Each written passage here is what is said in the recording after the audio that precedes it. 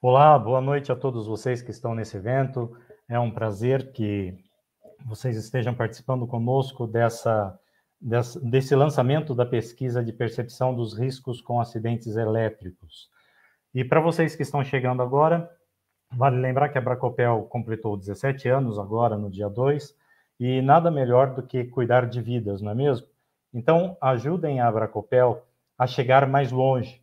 Então, não deixem de se inscrever aqui no nosso canal, ativem o sininho, deem aquela curtida e acompanhem também o nosso trabalho nas redes sociais, tá bom? E a gente vai dividir esse tema hoje da seguinte forma: é, teremos o um assunto sobre prévias dos números de acidentes com eletricidades levantado pela Abracopel e que farão parte do Anuário Estatístico de Acidentes de Origem Elétrica deste ano.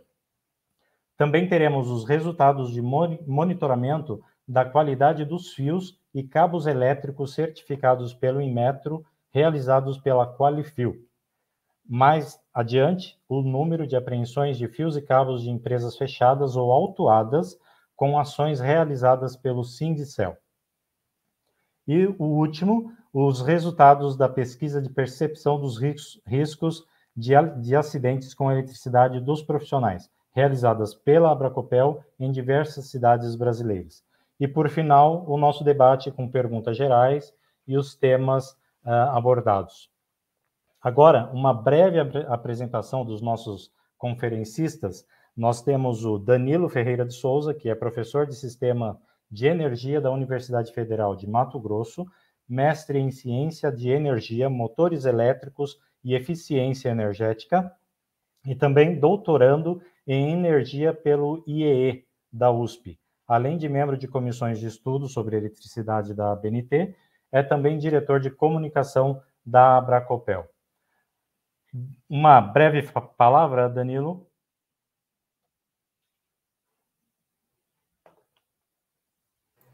Orestes, obrigado, obrigado por esse convite. É sempre um prazer estar participando da Abracopel, junto à Nacional, junto à Regional aqui com o Walter. E é uma grande alegria hoje vir apresentar o resultado do, do, do trabalho de percepção, que é um trabalho coletivo. Obrigado, Orestes. Por nada.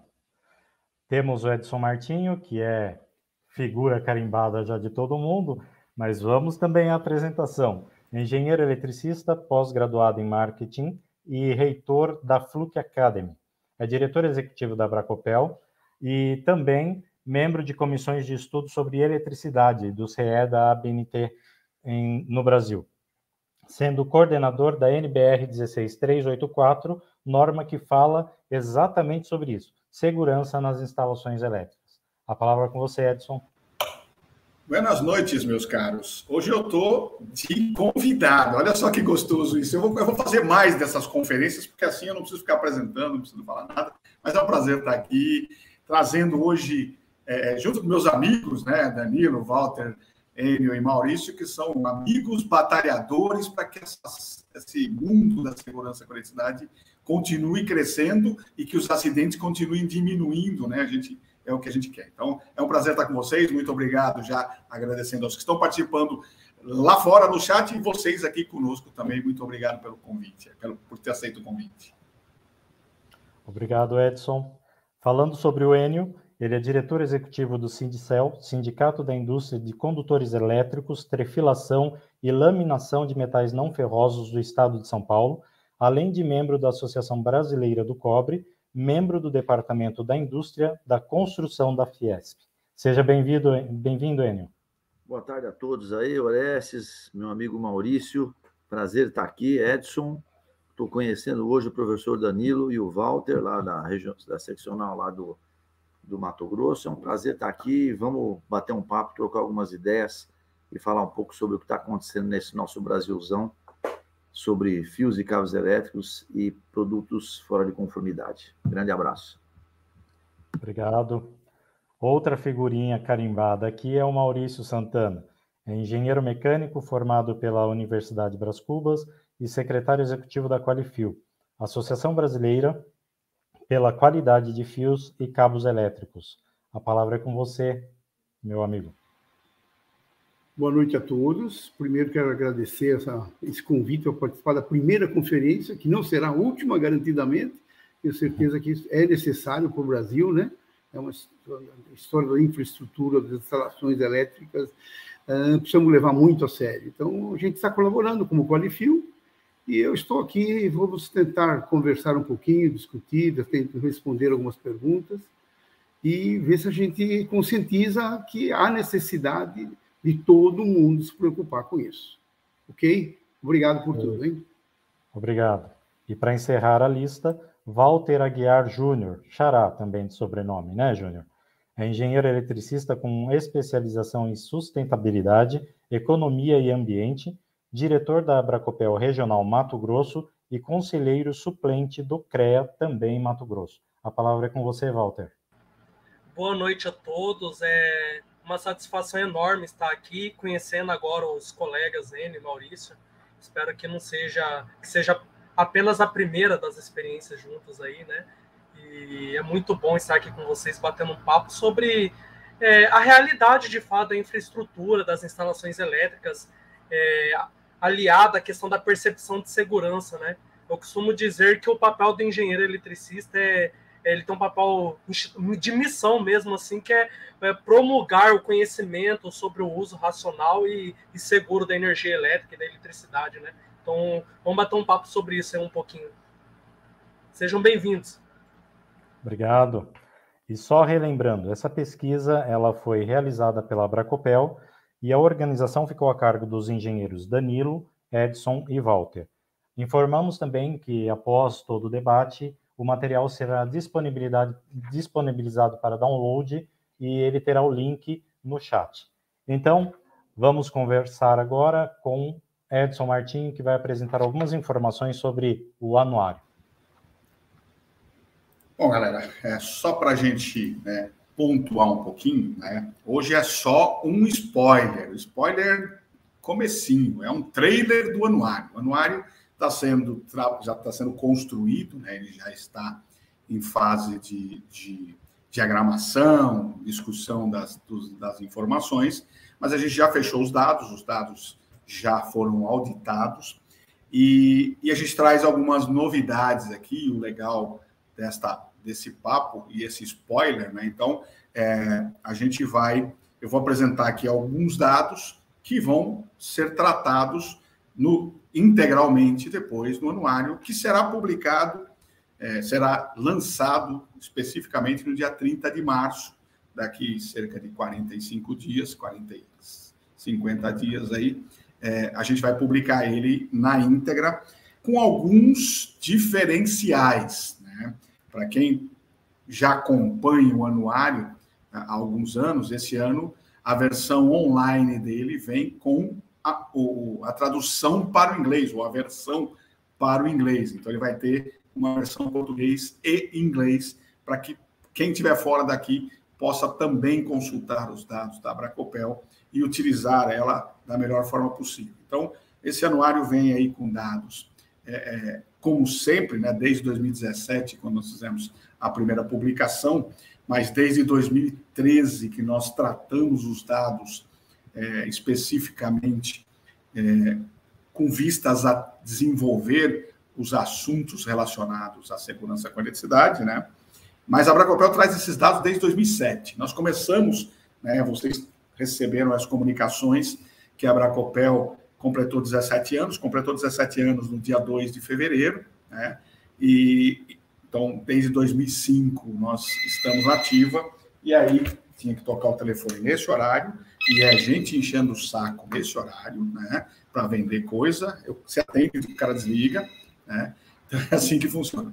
Mas, então, nesse, desde 2007, nós começamos a captar é, dados de acidentes, né, então nessa época a gente começava, começou a levantar as informações, foi organizando, em 2013 nós ampliamos a nossa base de dados, tivemos, é, começamos a, a captar dados, porque no começo era só nos grandes portais, depois nós começamos a trabalhar em todos, o, o, todo o mundo eletrônico, incluindo as redes sociais, e à medida que o, o tempo foi passando, a gente vem trazendo mais é, dados de, de outras entidades, de colaboradores, e hoje a Bracopel conta com uma rede gigantesca, aí muitos de vocês é, que estão aí no, no, no, nos, nossos, nos nossos chats e nos acompanhando também sempre nos mandam informações. Eu estava agora nos bastidores conversando com, a, com o pessoal aqui e disse, é, eu estava olhando, enquanto gente estava conversando, eu estava olhando minha, minhas redes sociais aqui, e uma informação surgiu num Telegram de uma garota de 20 e poucos anos que morreu eletrocutada numa guarita de um condomínio na região aqui de São Paulo, interior de São Paulo, se não me engano, Rio Claro. Então, isso acontece, infelizmente, diariamente, de dois a três acidentes, a gente fica sabendo, né? E aí a gente compila isso. Para quem não sabe o que é o anuário, né? Ele traz dados de acidentes é, com eletricidade, especificamente, com três focos principais: o choque elétrico e o arco elétrico, o choque elétrico e o arco elétrico, né? Ou seja, acidentes é, dessa natureza, os incêndios gerados por sobrecarga e curto-circuito, que está muito ligado ao, ao que o Enio e o Maurício vão falar aqui, que é a qualidade dos componentes, principalmente a qualidade dos fios, né? E as descargas atmosféricas, os acidentes causados por raios, é, que normalmente acontecem ou na praia ou em, em regiões de, de, de, campos, né? É, mas também teve acidentes em próxima casa ou dentro de casa que tem também vitimado uma série de pessoas. Então, esse é o dado que a gente traz no anuário. E o anuário ele é publicado com os dados mais relevantes, né? Mas o nosso banco de dados hoje ele consegue ter um nível de detalhe é, extremamente aprofundado. Para vocês terem uma ideia, né?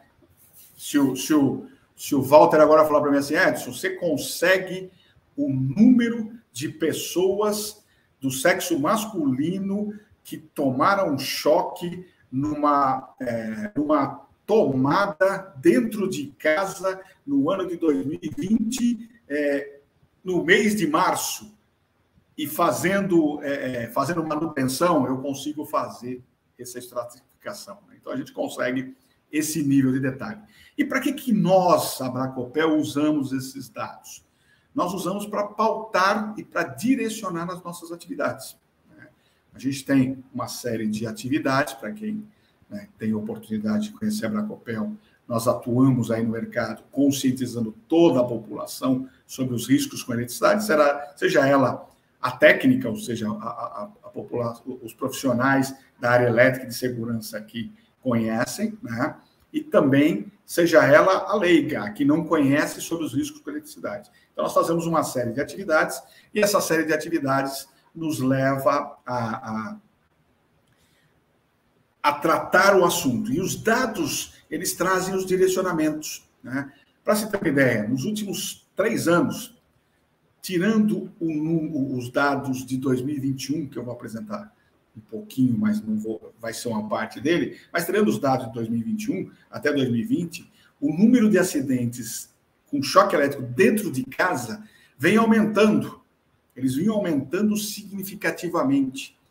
E aí, nós já sabíamos disso, né, porque era uma, já suspeitávamos disso, mas em 2017, juntamente com uma entidade chamada Procobre, nós fizemos uma pesquisa é, que chamamos de raio-x das instalações elétricas residenciais, fizemos em 1.100 residências do Brasil, e nós detectamos que mais de 70% das residências não tem DR. Então você faz um cruzamento, ou seja, a pessoa toma choque dentro de casa e a casa não tem DR, você vê, e aí você vai lá na norma técnica, o, o, o DR está previsto na maioria das instalações elétricas, desde a norma de instalações elétricas de baixa tensão de 1997, nós estamos falando de 24, indo para 25 anos, né, você chega numa conclusão que temos que fazer alguma coisa. E aí nós começamos a trabalhar o DR, falando da importância do DR, e lá nos dois últimos anos, indo para esse ano também. E nessa situação, a gente começa a avaliar que os números começam a cair. Né? Então, o número de 2020, é, 1,20 já foi um pouquinho menor, os números de 2021, o primeiro spoiler, foi um pouco menor ainda, e a tendência, e se tudo correr bem, a ideia é que esses números continuem caindo. Então, esse é o, o objetivo né, do anuário, ou seja, é nos ajudar a conduzir as atividades, nos ajudar a direcionar as nossas ações e para vocês, né, para todos que estão nos assistindo, ajudar também nas ações de vocês. Então, os profissionais que estão é, é, atuando aqui, estou vendo alguns amigos aqui, o Jefferson, o Juninho, é, a Camila, é, deixa eu ver quem mais está aqui, a Jair, essa turma toda que a gente conhece, está chegando, né? É, alguns são profissionais da área de elétrica, então vão trabalhar. O Jefferson, por exemplo, atua na, na em, em, controle de infraestrutura, né? De sistema hospitalar, ou seja, ele vai pegar os dados e vai dizer: opa, teve uma série de acidentes nos últimos dois anos relacionados a hospitais. Deixa eu começar a avaliar. O, o, o, o Janilson, meu amigo lá, instalador, falou: opa, eu preciso estar sempre atento nesta atividade, porque o meu cliente está sendo vítima de acidente. Então, eu preciso, o meu cliente não, o meu possível cliente pode ser um, um, uma pessoa que eu vou lá vender DR. O Juninho, por exemplo, atua numa concessionária, então ele está lá fazendo o trabalho e vendo, opa, está acontecendo assim, como é que a gente faz, o que, que a gente precisa fazer. Então, aí são ações que a gente traz o tempo todo. Fala, Enio. Eu, puxa, eu vou dar um pitaco aí, não aguentei, tá? É essa a ideia. não aguentei esperar. É, nós estamos fazendo um trabalho juntos aqui, é o Cincel, né, com o Qualifio e, e a Bracopel. O Martinho está fazendo um levantamento num hospital aqui de São Paulo. Exato. Eu não ia falar, mas você já falou, então bora. Não, nós vamos, inclusive, depois nós vamos conversar, inclusive, nós queremos dar é, notabilidade a isso aí, sim, é, geral. Nós estamos fazendo é, bancada aqui pelo Sindicel e a, a equipe do, da, da Bracopel está fazendo para a gente. Nós queremos saber a situação de um hospital especificamente. Então, qual que é a nossa ideia? Pegar esse material, levar para o Ministério Público, de uma maneira geral, e falar: olha aqui, ó, onde é que nós estamos sentados. Não vale a pena fazer uma avaliação em todos os hospitais de São Paulo? Começar a provocar esse tipo de coisa. Uma, uma, um, uma ação dessa no Ministério Público, ela pode gerar, cara, milhões, além de gerar uma segurança, né, para o nosso para as pessoas, mas ela vai gerar milhões de negócios para as empresas de uma maneira Sim. geral. Então, é, exatamente, né? Depois o negócio, né? Mas legal, desculpa Sim. te interromper. E, é, não, não, mas foi bom. Eu, eu não falei porque a gente ainda está no, no, nos estudos. Eu falei, então deixa eu. mas você conversou, então. É, é, a gente está fazendo esse trabalho, é, exatamente, foi feita uma, uma verificação de parte da instalação elétrica e a gente tá, é, é, vai trabalhar para que isso se torne uma, uma, uma realidade. A gente vem trabalhando num passo atrás, né? E o Sinicial está junto com a gente também, o Qualifio também, é, já há dois anos, que é a verificação da instalação elétrica, que está previsto no capítulo, no, na seção 7 da, da 5410, né? É, e a gente vem trabalhando isso como uma prática, ou seja, para que os profissionais já comecem, na hora de entregar a obra, já comecem a fazer uma verificação prevista no, no, na norma, ou seja, não estamos falando, não estamos inventando a roda essa, essa verificação da instalação elétrica final, ela está prevista desde 97, talvez 90. Né? Eu não, não, não, fui buscar nisso. Nós estamos falando de mais de 30, de 20 anos, ela está prevista em norma. Então, é importante que a gente tenha esta configuração e que o pessoal comece a entender porque eu já vi muito, né, e também, ah, mas o Brasil, a instalação é ruim porque não tem fiscalização. Mas você é o cara da fiscalização, ou seja, se você fizer a verificação prevista em norma, você já está garantindo 99% dos problemas, né? Ou do não problema. Então, esse é um ponto importante e a gente vai trabalhar com isso muito forte, né? Então, é, é eu citei alguns nomes aqui de amigos que que estão por aqui, porque a gente conhece, né? Mas tem lá outros, Roberto aqui também, que está sempre nos, nos, seguindo aqui, a, a Saif. É, essa, alguma coisa que pode ser feita com a visão preventiva de acidentes, acho que, que passa pela revisão das emendas dos cursos técnicos, algumas emendas nunca referenciam a NR10. E, Roberto, é, é, você falou um negócio legal, você está falando de NR10, é, esse ano nós temos o CONATS, o Congresso Nacional de Atualização de Docentes em Segurança com Eletricidade que era um, é um projeto que a gente já faz a cada dois anos, Infelizmente, era para acontecer em 2020, mas com aquele tumulto todo não conseguimos. E agora a gente está retomando ele no formato virtual. Mas é, durante duas edições anteriores, 2018 e 2016, nós fizemos uma verificação, um bate-papo com os professores é, sobre eles ensinarem, no caso não era NR10, mas ensinarem sobre a seção 7 que eu estou falando agora, do, do da, da 5410 e a gente detectou, né, o Jefferson é professor, também está aqui conosco aqui, a gente detectou que cerca de 80% do, dos cursos não falam da verificação final. Fala do projeto, fala da execução, mas não fala da verificação, né? Que está na norma, ou seja, tem que buscar. Então, isso é um ponto. O ano passado nós lançamos 11 e-books sobre instalação elétrica, entre eles um deles era a verificação final. Né? É, na, na, na Abracopel, na área de, de é, na Universidade Abracopel, tem um e-book sobre verificação final, que fui eu que escrevi, está lá disponível para vocês. Então, são coisas que a gente precisa o tempo todo estar tá ligado né, e estar tá repetindo. E esse ponto que o Enio citou é exatamente o que nós estamos complementando. Né? Eu falo da, da, importância do DR, eu falo da importância do DR com o profissional, eu falo da importância do DR com o leigo, que vai perguntar para o profissional se tem DR, eu falo da, da verificação de instalação elétrica, eu falo da certificação da instalação elétrica, eu complemento todo o trabalho, né? E nesse, nesse trabalho que a gente faz. E aí está lá o Maurício e o, e o Enio na, na, no mercado fazendo o quê? Né? Batendo no, nos caras que estão fazendo coisa errada. Né? Então, é, é, um conjunto de ações que a gente está fazendo aí é, é, o tempo todo. Deixa eu parar de falar e trazer para a tela aqui, né? Deixa eu ver se eu consigo compartilhar minha tela. Não, para aí. É, compartilhar a tela, trazer aqui, para mostrar para vocês o primeiro o primeiro spoiler do anuário, né? Esse é o essa essa caveira aqui é trágica, mas é verdade, né? O ano passado, 2021, nós tivemos 1579 acidentes com origem elétrica.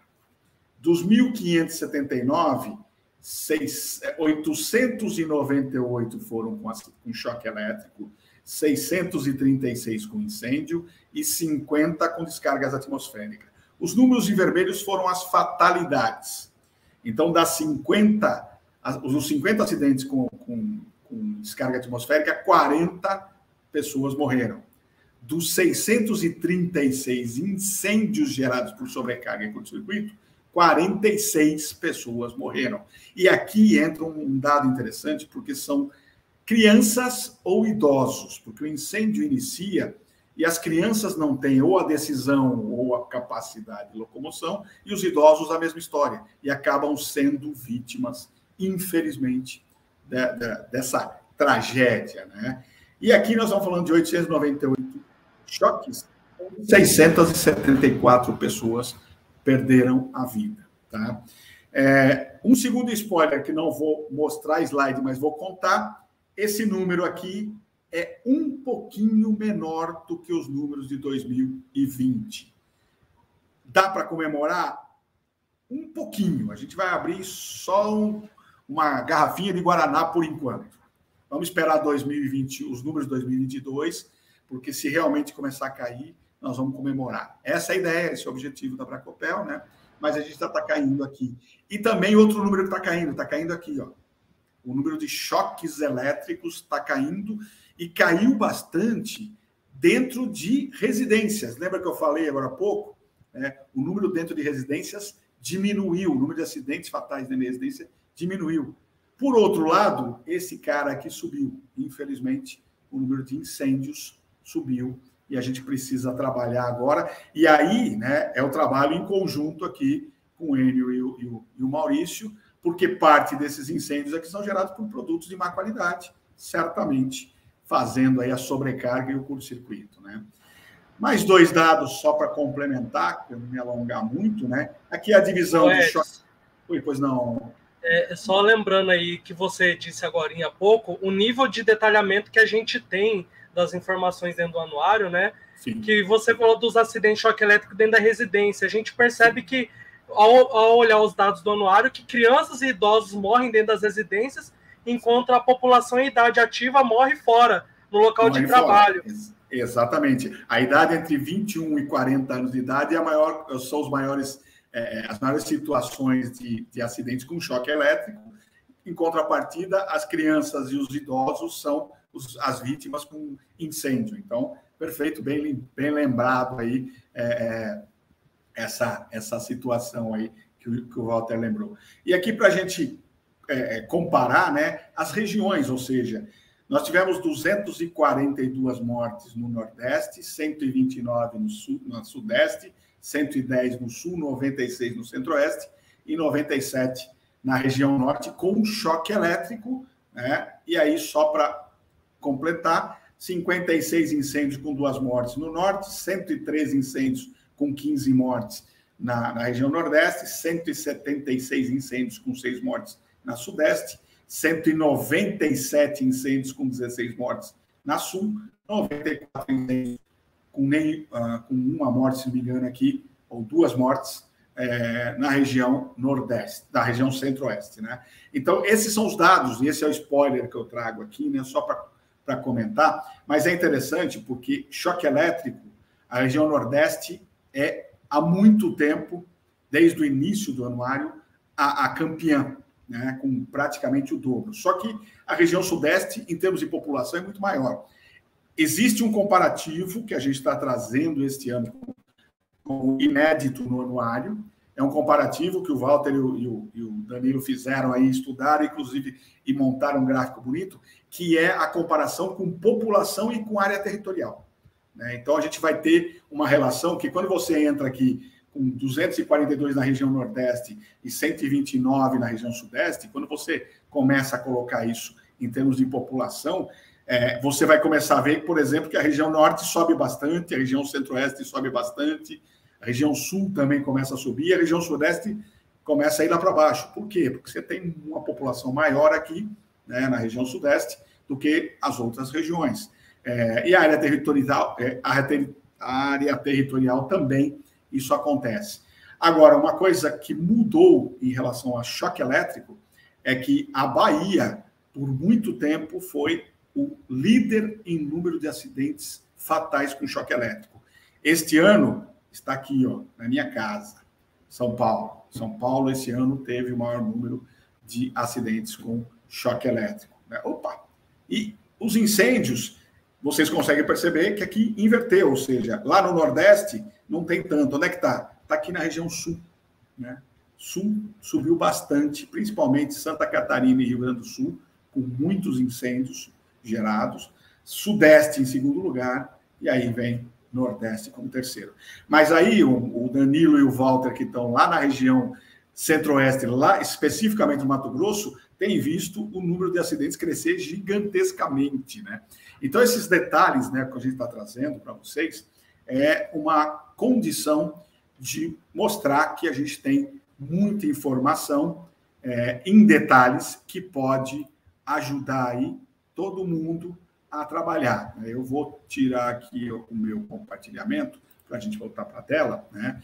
E aí, pessoal, os jornalistas que estão aqui né, é, nos, nos é, prestigiando, tem um acordo aí com a Meire, vocês fizeram um acordo com a Meire, de é, se identificarem aqui, pode mandar o um e-mail para Meire pedindo a informação no detalhe que você quiser, que ela vai levantar e vai dizer para você, olha, consigo te passar ou não consigo te passar, né? Ela vai te ajudar. E daqui a pouco... Assim fica fácil, né, Edson? Assim fica fácil. Pois é, exatamente, né? Agora, o resto do pessoal vai buscar no anuário quando sair, né? Porque é muita folga.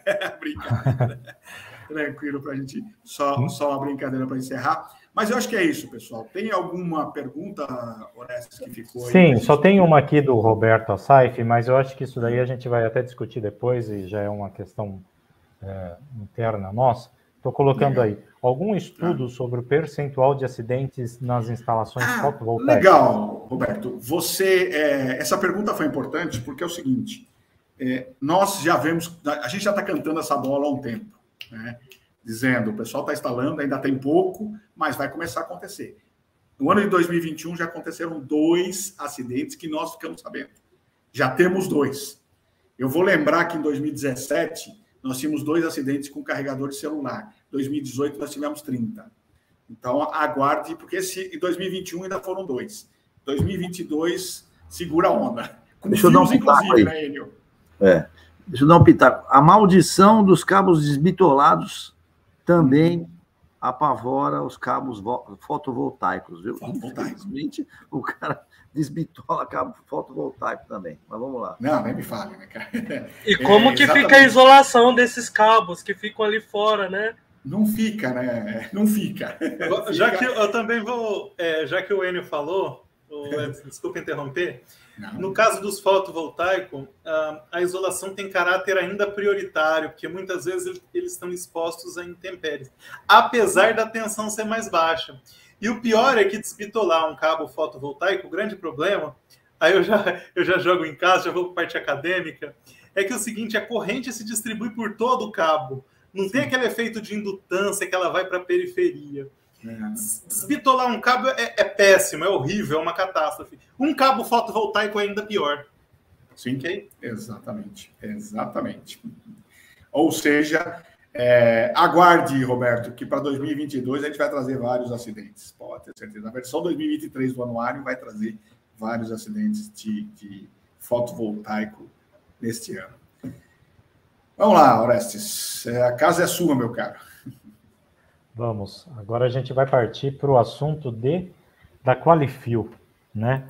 O, o Maurício vai apresentar para a gente algumas informações aí sobre essa questão dos, das qualidades dos fios e cabos e como que é feito esse monitoramento. A palavra é sua, Maurício. Ok, obrigado, Orestes. Vamos conversar um pouquinho. Uh, eu tenho uns números para apresentar, mas não agora.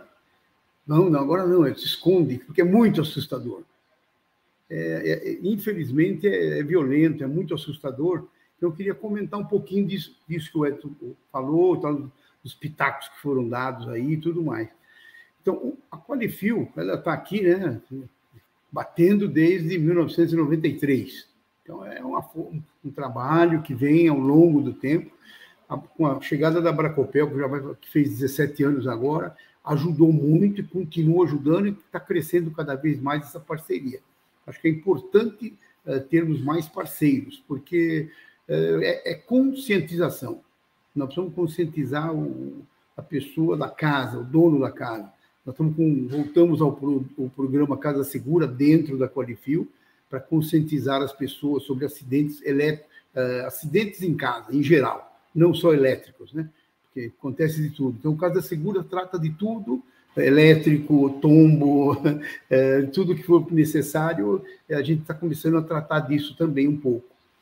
É, mas é o que a gente precisa realmente é conscientizar, e voltando a falar sempre na infraestrutura das instalações. Nós precisamos conscientizar quem faz as instalações. O eletricista, o instalador, as construtoras, então, nós temos uma dificuldade bastante grande, porque quem vai morar no prédio, ele não está fazendo o prédio. Quem está fazendo o prédio é um construtor. Quem projetou a parte elétrica não é o, que, o cara que vai comprar o prédio. É o máximo que ele pode fazer no final, é que o Edson está fazendo lá no hospital. Tira um pedacinho de fio, vamos ver se o fio é bom, vamos ver se o DR existe mesmo, ou se está circuitado, porque tudo é possível né, para fazer. Então, é conscientizar o consumidor de que ele deve ser mais exigente vai ter que ser mais exigente, comprar material de boa qualidade, confiável. Para isso, a gente tem um trabalho enorme aí. A gente convida vocês a entrar na Qualifio, seja um seguidor da Qualifio, que a gente tem um monte de coisas no, no, nos blogs nossos. Então, é muito importante a conscientização do consumidor e do o, o, o usuário mesmo, de verdade, é o eletricista. Os professores aí do Danilo, a gente tem conversado bastante é, ele está ensinando o pessoal, né, que ele está dando aula, que são os engenheiros, eletricistas e tudo mais, e os eletricistas. Nós estamos tentando fazer um trabalho com as ETECs aí, junto com o Eduardo Daniel, uh, em São Paulo, para a gente conscientizar naquela pessoa que vai instalar. Quem vai instalar, ele vai pegar na mão o fio. Então, ele vai olhar o fio. Quem comprou, nem olha o fio. Ele está o rolinho lá, ele guarda. Quantos, quantos rolos você quer? Eu quero 30, 30 rolos de cabo 2,5. O cara vai lá e compra o mais barato possível e põe lá. E o eletricista é quem olha o fio. Então a gente tem batido muito nessa tecla de tentar verificar uh, visualmente alguma coisa. Então, a gente tem. Uh, é uma conscientização. É do eletricista, é do instalador, uh, do projetista. Falando em projetista, muitos. Então, nós estamos contentes. A Qualifio está contente. Tive a reunião da diretoria ontem. Uh, a Qualifio está contente com o trabalho dela hoje, porque nós estamos vendo muitos frutos. Construtoras todo dia, uma ou duas construtoras ligam para a gente, mandam um e-mail, olha, estou comprando material assim, assim, uh, não está na lista da Qualifio. É bom, dá para comprar ou não? Eu consulto a nossa, a nossa lista aqui do, dos, do pessoal mal intencionado e informo. Eu, eu não cito nem o nome da marca, mas falo, olha, essa marca que o senhor citou, ela não é de boa qualidade. Nós aconselhamos a olhar nas 24 empresas, agora são 24 já, 24 empresas do site da Qualifil, que aliás, são avaliadas ao longo do ano no comércio, dentro do laboratório deles nós vamos. Então, é, um, é bastante confiável. Então, o projetista, acho que está começando a colocar, né, cabo conforme metro e, se possível, né, na hora do vamos ver, porque o problema é na hora do vamos ver a construção termina quando acaba, né? É brincadeira. Mas para acabar, precisa colocar os fios.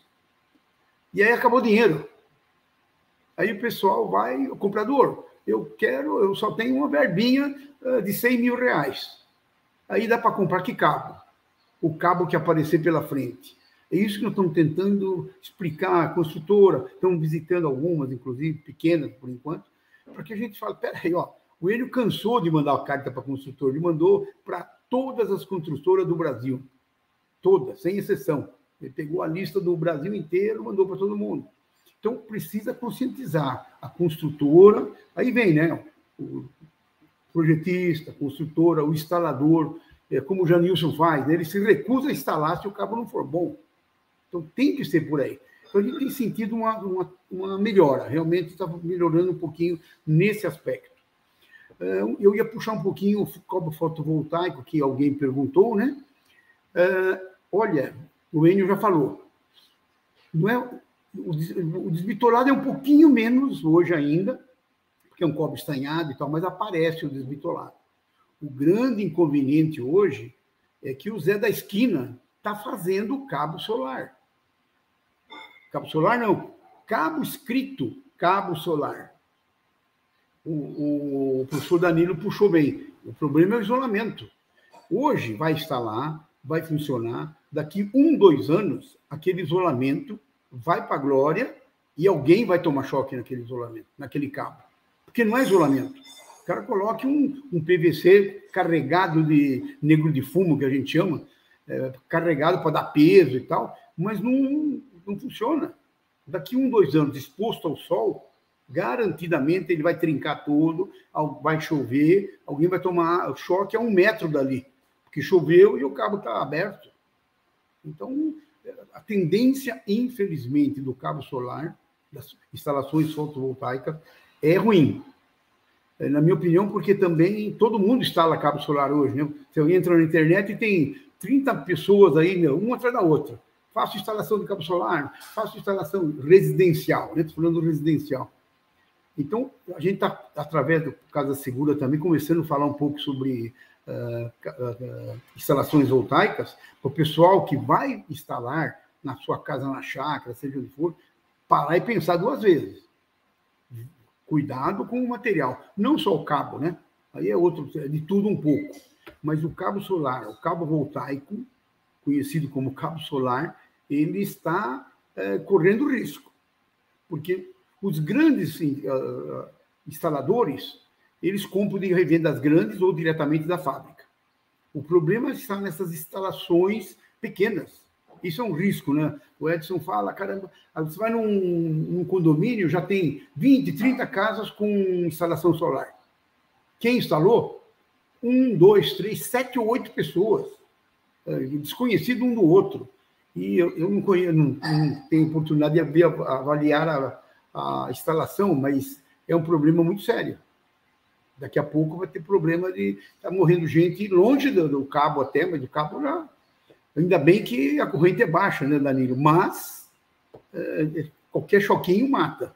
Se a gente toma choque dentro de casa e morre, É, porque não, eu não quero tomar um choque de cabo fotovoltaico em lugar nenhum.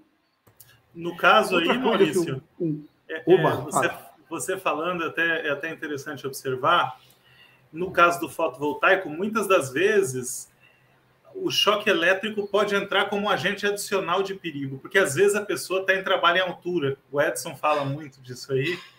E aí, então, mesmo que o choque não seja o agente fatal, ele é um agente que provoca a fatalidade devido ao indivíduo estar em trabalho em altura. Sem dúvida, é, porque ele está lá em cima. É sempre em algum telhado, em algum lugar, né? Está sempre lá no alto. Infelizmente, é, é, leva. Eu, infelizmente, eu acho que esses números vão piorar. É, vai aparecer muito choque elétrico aí, ou caída de laje, de telhado, por alguns motivos desse tipo. Acho que é um levantamento que precisa ser feito de perto, porque vai dar, dar problema. Então, é, o cabo solar. Porque isso daí, né, Maurício, o que você comenta é, do tanto que a Sindicel e a Qualifio já presenciaram de irregularidades e aqueles que ainda não vimos, né? Então está espalhado Sim. por aí, não é? é? O cabo solar ele é inclusive difícil de você analisar. Se eu pegar uma amostra de cabo solar, eu não consigo fazer como eu faço com cabo flexível normal, pôr lá na ponta e tal. A resistência está boa, mas o isolamento eu preciso de. no, no nosso laboratório ainda não temos preciso de muito mais tempo para avaliar a, a, a, condição do isolamento. Então, é um problema muito sério. E estão certificando, tem gente certificando uh, amostra que faz em outra fábrica, e ele vende depois com a marca dele, porque certificar é uma coisa, produzir de acordo com a certificação é outra coisa. Então, a gente já está avisando empresas que já têm problema com cabos flexíveis e que vêm a fazer cabo fotovoltaico, não comprem, pelo amor de Deus. Continuem comprando daqueles confiáveis. São aí, hoje, um total de 28, 30, 30 empresas, somando tudo. Nós temos 24 uh, uh, associados e mais uma meia dúzia aí que está melhorando, está uh, chegando depois das ações do Enio. Aí tem gente que de três anos atrás está começando a chegar ainda, isso é legal. Então, mas é isso, nós temos 30 empresas uh, boas, vai, que dê para a gente confiar. As 24 a gente garante, agora as outras seis aparentemente estão em, bom, em boas condições. O restante, infelizmente, não vai bem. O que me assustou com os números do Edson, antes de eu mostrar meus números, Edson, é que você falou que teve 898 choques elétricos e 674 mortes. Quer dizer, choque elétrico mata mesmo, né? 75%. Sim. É um negócio exatamente. maluco. Os números 75% são assustadores. das pessoas que tomaram choque elétrico morreram. Sim, sim. É um negócio os choques, assustar, né? choques de nível mais alto, né? Porque os choques de. Sim, os choquinhos que o pessoal toma e não acontece nada, a gente não registra, porque não consegue saber. Mas digo que não fica sabendo. Tiveram uma certa consequência, 75% foi do espaço. Exatamente. É um negócio maluco. É, quando eu vi o número teu, eu falei, não, é uma loucura. o cara toma choque, tem a, possibilidade, a probabilidade de morrer existe e é grande. E é gigante. E é, e é grande, é grande, porque o número é assustador. Eu falei, deixa eu comentar isso que me fiquei preocupado com esse número aqui. Caramba! E nós estamos fazendo um trabalho de conscientização com todo mundo, inclusive tem um case aqui rapidinho, só para antes de eu mostrar os números. Uh, uma, o SESI, um SESI de Minas Gerais, da cidade de Ubá, a instaladora me ligou que o Enio estava fazendo um trabalho lá no Pará e pegou uma marca ruim e o responsável do SESI viu a, a, a cobertura que o Enio tinha feito, a, o site do Cincel e tudo mais. E quando ele foi fazer a inspeção no SESI, adivinha o cabo que ele encontrou lá? O cabo que o Enio tinha pego no Pará e era ruim. Tá, deu, deu uma confusão grave. Eles estão vão ter que trocar, né? Checkmate. Tá você isso que é bacana, porque acho que nós precisamos é, é, conscientizar e mostrar. Pô, ó, essa marca aqui tá ruim, nós pegamos lá no Pará, o Enio pegou lá. No Pará não, desculpe, no Amapá um que você pegou na Amapá. No dia seguinte, o pessoal da, da, da construtora e instaladora me ligou. Falou: olha, aconteceu isso, isso, isso, isso. esse material é ruim mesmo? Eu falei, essa marca não é boa. Porém, você me manda as amostras. Barbada, mandou a amostra, claro, aquela história toda, né? O 2,5 era 0,75, para ter uma ideia. O 10 milímetros era 4,20 milímetro quadrado. Então, eu devolvi para ele e tal, aí a, a briga mim passa a ser jurídica e outros problemas. Né? Maurício. Fala, Elion. Vou só dar uma complementada. Nós estamos aqui nostálgicos ultimamente com os tempos de 30% de desbitolagem de cabo. Que na, no, como, é, como era anos, bom, né? Como era como bom. era bom, a gente não sabia, que nem na época do Figueiredo, como era bom, a gente não sabia. E nós estamos agora, os níveis de desbitolagem são sempre acima de 100%, e em alguns casos, acima de 300%, 400%. Eu tive um, nós tivemos um caso que a maquininha que lê lá a resistência elétrica, ela simplesmente zerou. Ela não tinha capacidade de medição. Ou seja, passou de 500%, 600%. Desculpa, Maurício, só complementar. Tá, é, é, eu, eu, quando eu for comentar, já, já que você puxou, vamos falar. Existem hoje, infelizmente, é, muitas, tem um fabricante que faz muito produto, que é o alumínio cobreado. Ele já usa alumínio cobreado e desbitolado. Aí dá os 300% que o Enio acha lá, pô. Você imagina. O cara, o cara é picareta nível hard, né? Ou seja, ele usa alumínio e desbitola o alumínio. Ou seja... É, desbitola o alumínio cobreado. Então, é uma loucura total. Isso é, isso é crime. Isso é crime, é bandidagem mesmo. Tem um, de, tem um de aço, né? O Enio me falou que tem um de aço que ele achou. De aço, é. Aço o de aço ele pegou lá no Nordeste também. O de aço tinha sumido. É do meu tempo, quando eu era jovem, tinha no, aço cobreado. De repente o Enio achou novamente. É um negócio maluco, né? Mas, então, o aço cobreado é, usar, é usado para fazer haste de aterramento. Que é Sim, é dessa grossura. Né? Não fiozinho 0,20. É que o, ca, o cara deve ter pegado, como, como o vergalhão de, de para fazer é, cobre é de 8 milímetros, né? deve ter pego a. Falar, acho que é a mesma coisa, colocou na máquina e saiu é, aço cobreado. E sai fazendo loucuras, infelizmente. Então, ocorre de verdade, esses números são malucos.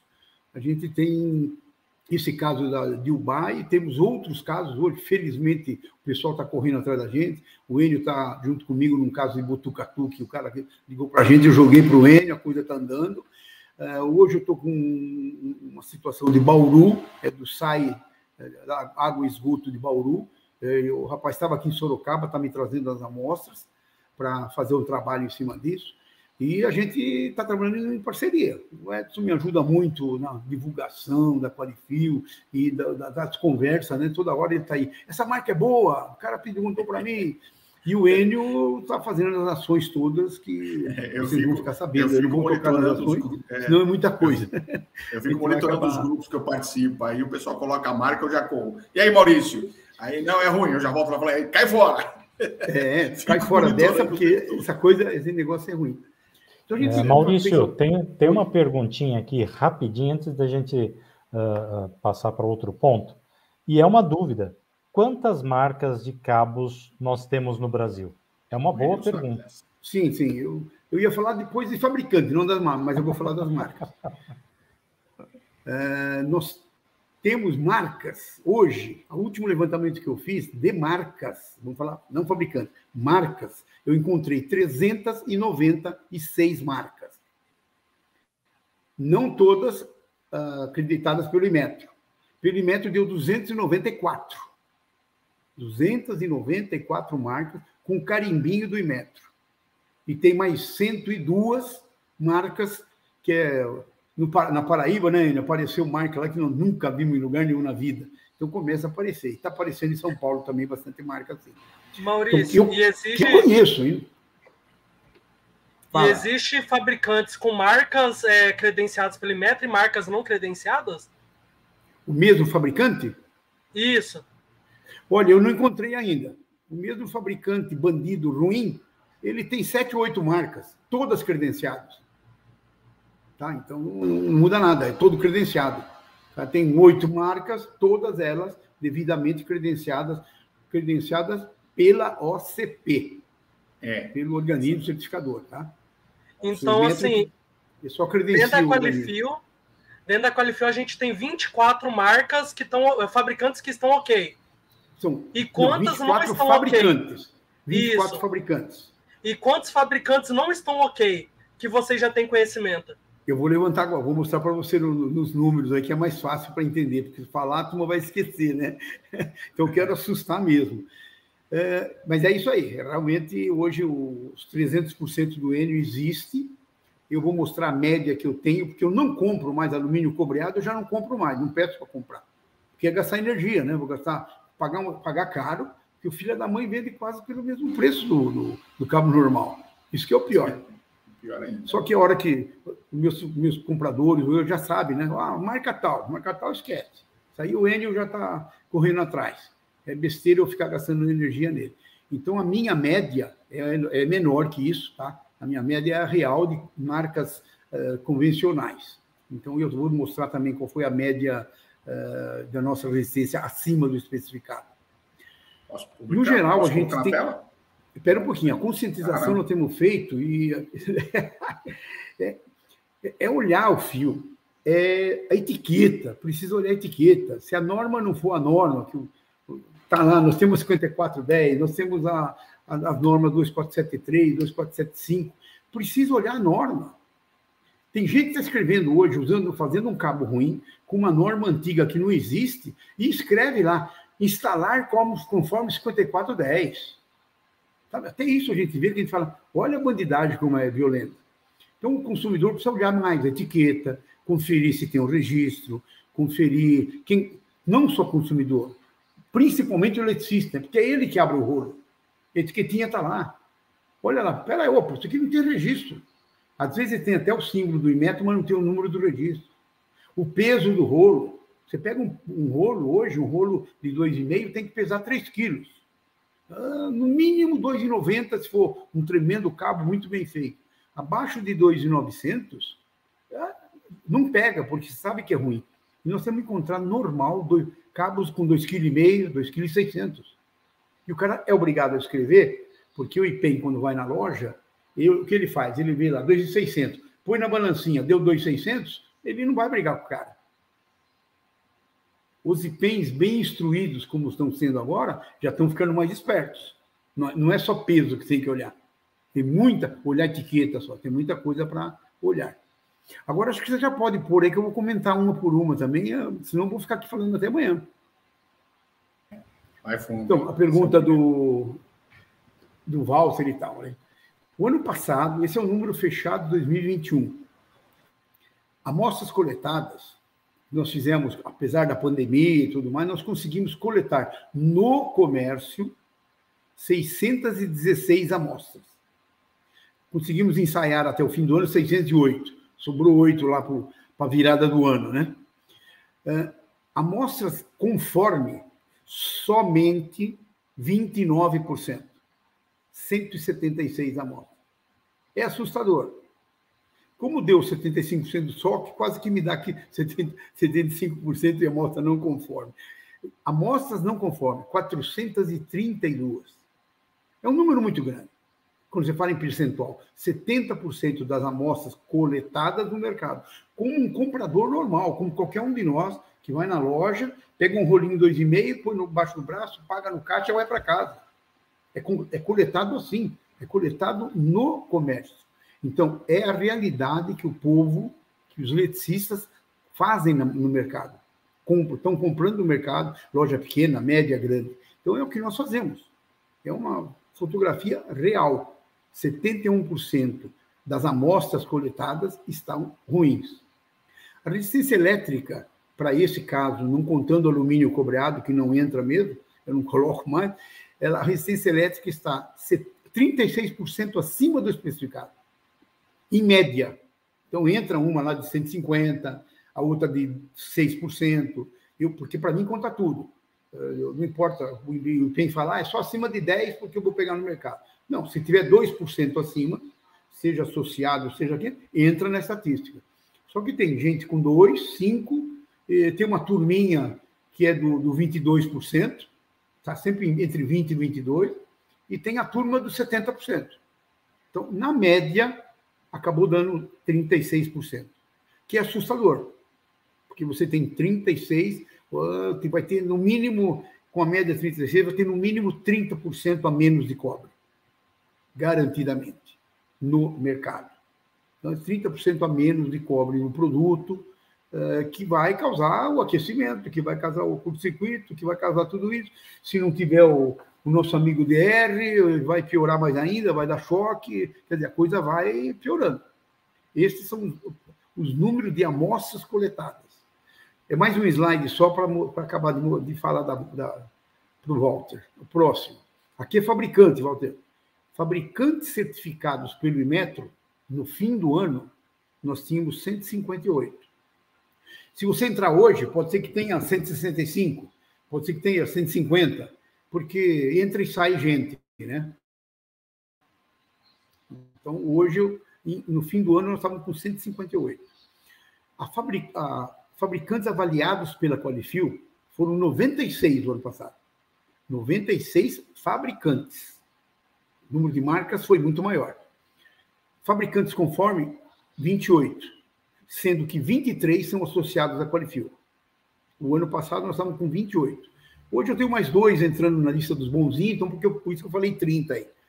É? é, o ano passado nós fechamos com este número: 23 fabricantes associados à Qualifil, que é confiável, pode entrar na, pode entrar na nossa, no nosso site, vai ver quais são eles. Hoje são 24, eram 23, hoje já são 24, e não tem problema nenhum. Mas o que assusta é. Oi. Importantíssimo a gente ressaltar aqui é que os trabalhos vêm sendo feitos, não, é, não vem sendo feito para matar a empresa ou fechar a empresa. Não. Nós estamos fazendo um trabalho para corrigir os desvios quando é possível isso, quando tem um empresário bem intencionado. E alguns desses empresários que foram autuados lá atrás, há três anos, há dois anos, eles fizeram um processo de melhoria contínua e hoje estão aqui dentro trabalhando com a gente. Então, para aqueles que falam que a Qualifio é um clubinho fechado de empresas, não, não. Quer dizer, é, nós desconstruímos essa, esse discurso, porque nós não queremos, nós queremos trazer todo mundo. Eu queria que no, no Sindicel tivesse 158 empresas, na Qualifio 158 empresas estivessem lá. Claro. Esse, esse é o nosso desejo, porque todo mundo estaria em conformidade, o nosso trabalho até deixaria de ter tanta importância. Mas, infelizmente, não é assim. 70% das empresas no Brasil fazem um lixo de produto. É, é infelizmente virou um nicho, né? um nicho do, do criminoso, do cabo criminoso, né? do, realmente daquele cabo ruim. É, mas coisa... o Enio tem razão, a gente está aberto para receber associados, é, tem vários candidatos para associar-se à Qualifil, mas tem certas regras é, que demoram um pouquinho, não é do dia para a noite, não é chegar aqui, ah, eu quero ser associado. Tudo bem, você quer ser associado, as regras são estas, é, tem muito, a regra é dura, a regra é dura, é, não é tão simples assim. E clara, no mínimo, né? é, é, clara, é, como Arnaldo. Tem que ser muito claro. Você pisou na bola, começa de novo. Tem gente que é candidata, depois de seis meses eu acho uma amostra dele está ruim. Começa tudo de novo. O período dele. Toda análise, visita a fábrica, visita coleta no mercado, coleta de surpresa na fábrica, começa tudo do zero novamente. Mas ele tem o direito de se candidatar. Agora, o trabalho que o Coelho falou, muito bom de três, há uns três anos atrás, foi feito um trabalho forte no Paraná. Eu posso falar isso porque eu estou vendo os números. E hoje nós temos, eu conheço já três empresas que estão andando na linha. Olha, eu estou avaliando já mais de um ano e tal, e eles estão certinhos. Sabe? Quer dizer, foi feito um trabalho é, bruto, né, de autuar, de, de recolher material, e, mas eles falaram, pô, peraí, eu tenho condições de trabalhar bem. E estão melhorando realmente. Agora, infelizmente, também tem o um outro lado ruim, né, Enio? A gente sabe disso, que não é fácil. É, só complementando, essas, essas empresas do Paraná, é interessante, eles evoluíram realmente, então, são empresas muito, é, já melhoraram muito, mas eles ainda estão sofrendo as consequências dos processos lá atrás. Que não foi o IPEM que foi fazer a apreensão lá, foi a Delegacia de Crimes contra o Consumidor. Então, abriu um inquérito é, civil e criminal contra essas empresas. Então, o Ministério Público entra para fazer as acusações. Quer dizer, é, é, é, um, é, é um trabalho quem quer andar na linha não pode andar por esse lado, porque para desconstruir isso é muito mais difícil do que você fazer a coisa certinho e passar pelos perrengues aí de perder cotação, mas com a certeza está fazendo a coisa certa. Edson, pode tirar. Pode tirar? É. Só, antes de tirar, só... só comentar, né? Você é, colocou os números é, é, bonitos, né? Você colocou é, 28 fabricantes conforme, mas você tem que ver o contrato, são 68 não conforme, né? 68, acho que é, né? Sim. Ou seja, nós estamos falando. Se volta de números... a outra, você vai ter um númerozinho aí também, a outra fala o. Tem, ah, não, é, só tinha esses dois, na verdade. É, é só tem esses dois, isso. É assim. Mas você vê, o, o, número é muito grande, é assustador. A gente é, faz um trabalho enorme, está tá melhorando, por isso que eu falo, é conscientização daquela pessoa que vai instalar, que vai fazer o projeto e que vai construir. Esse pessoal precisa se conscientizar de que precisa usar produto bom para que a infraestrutura das instalações elétricas no futuro atendam às normas, né?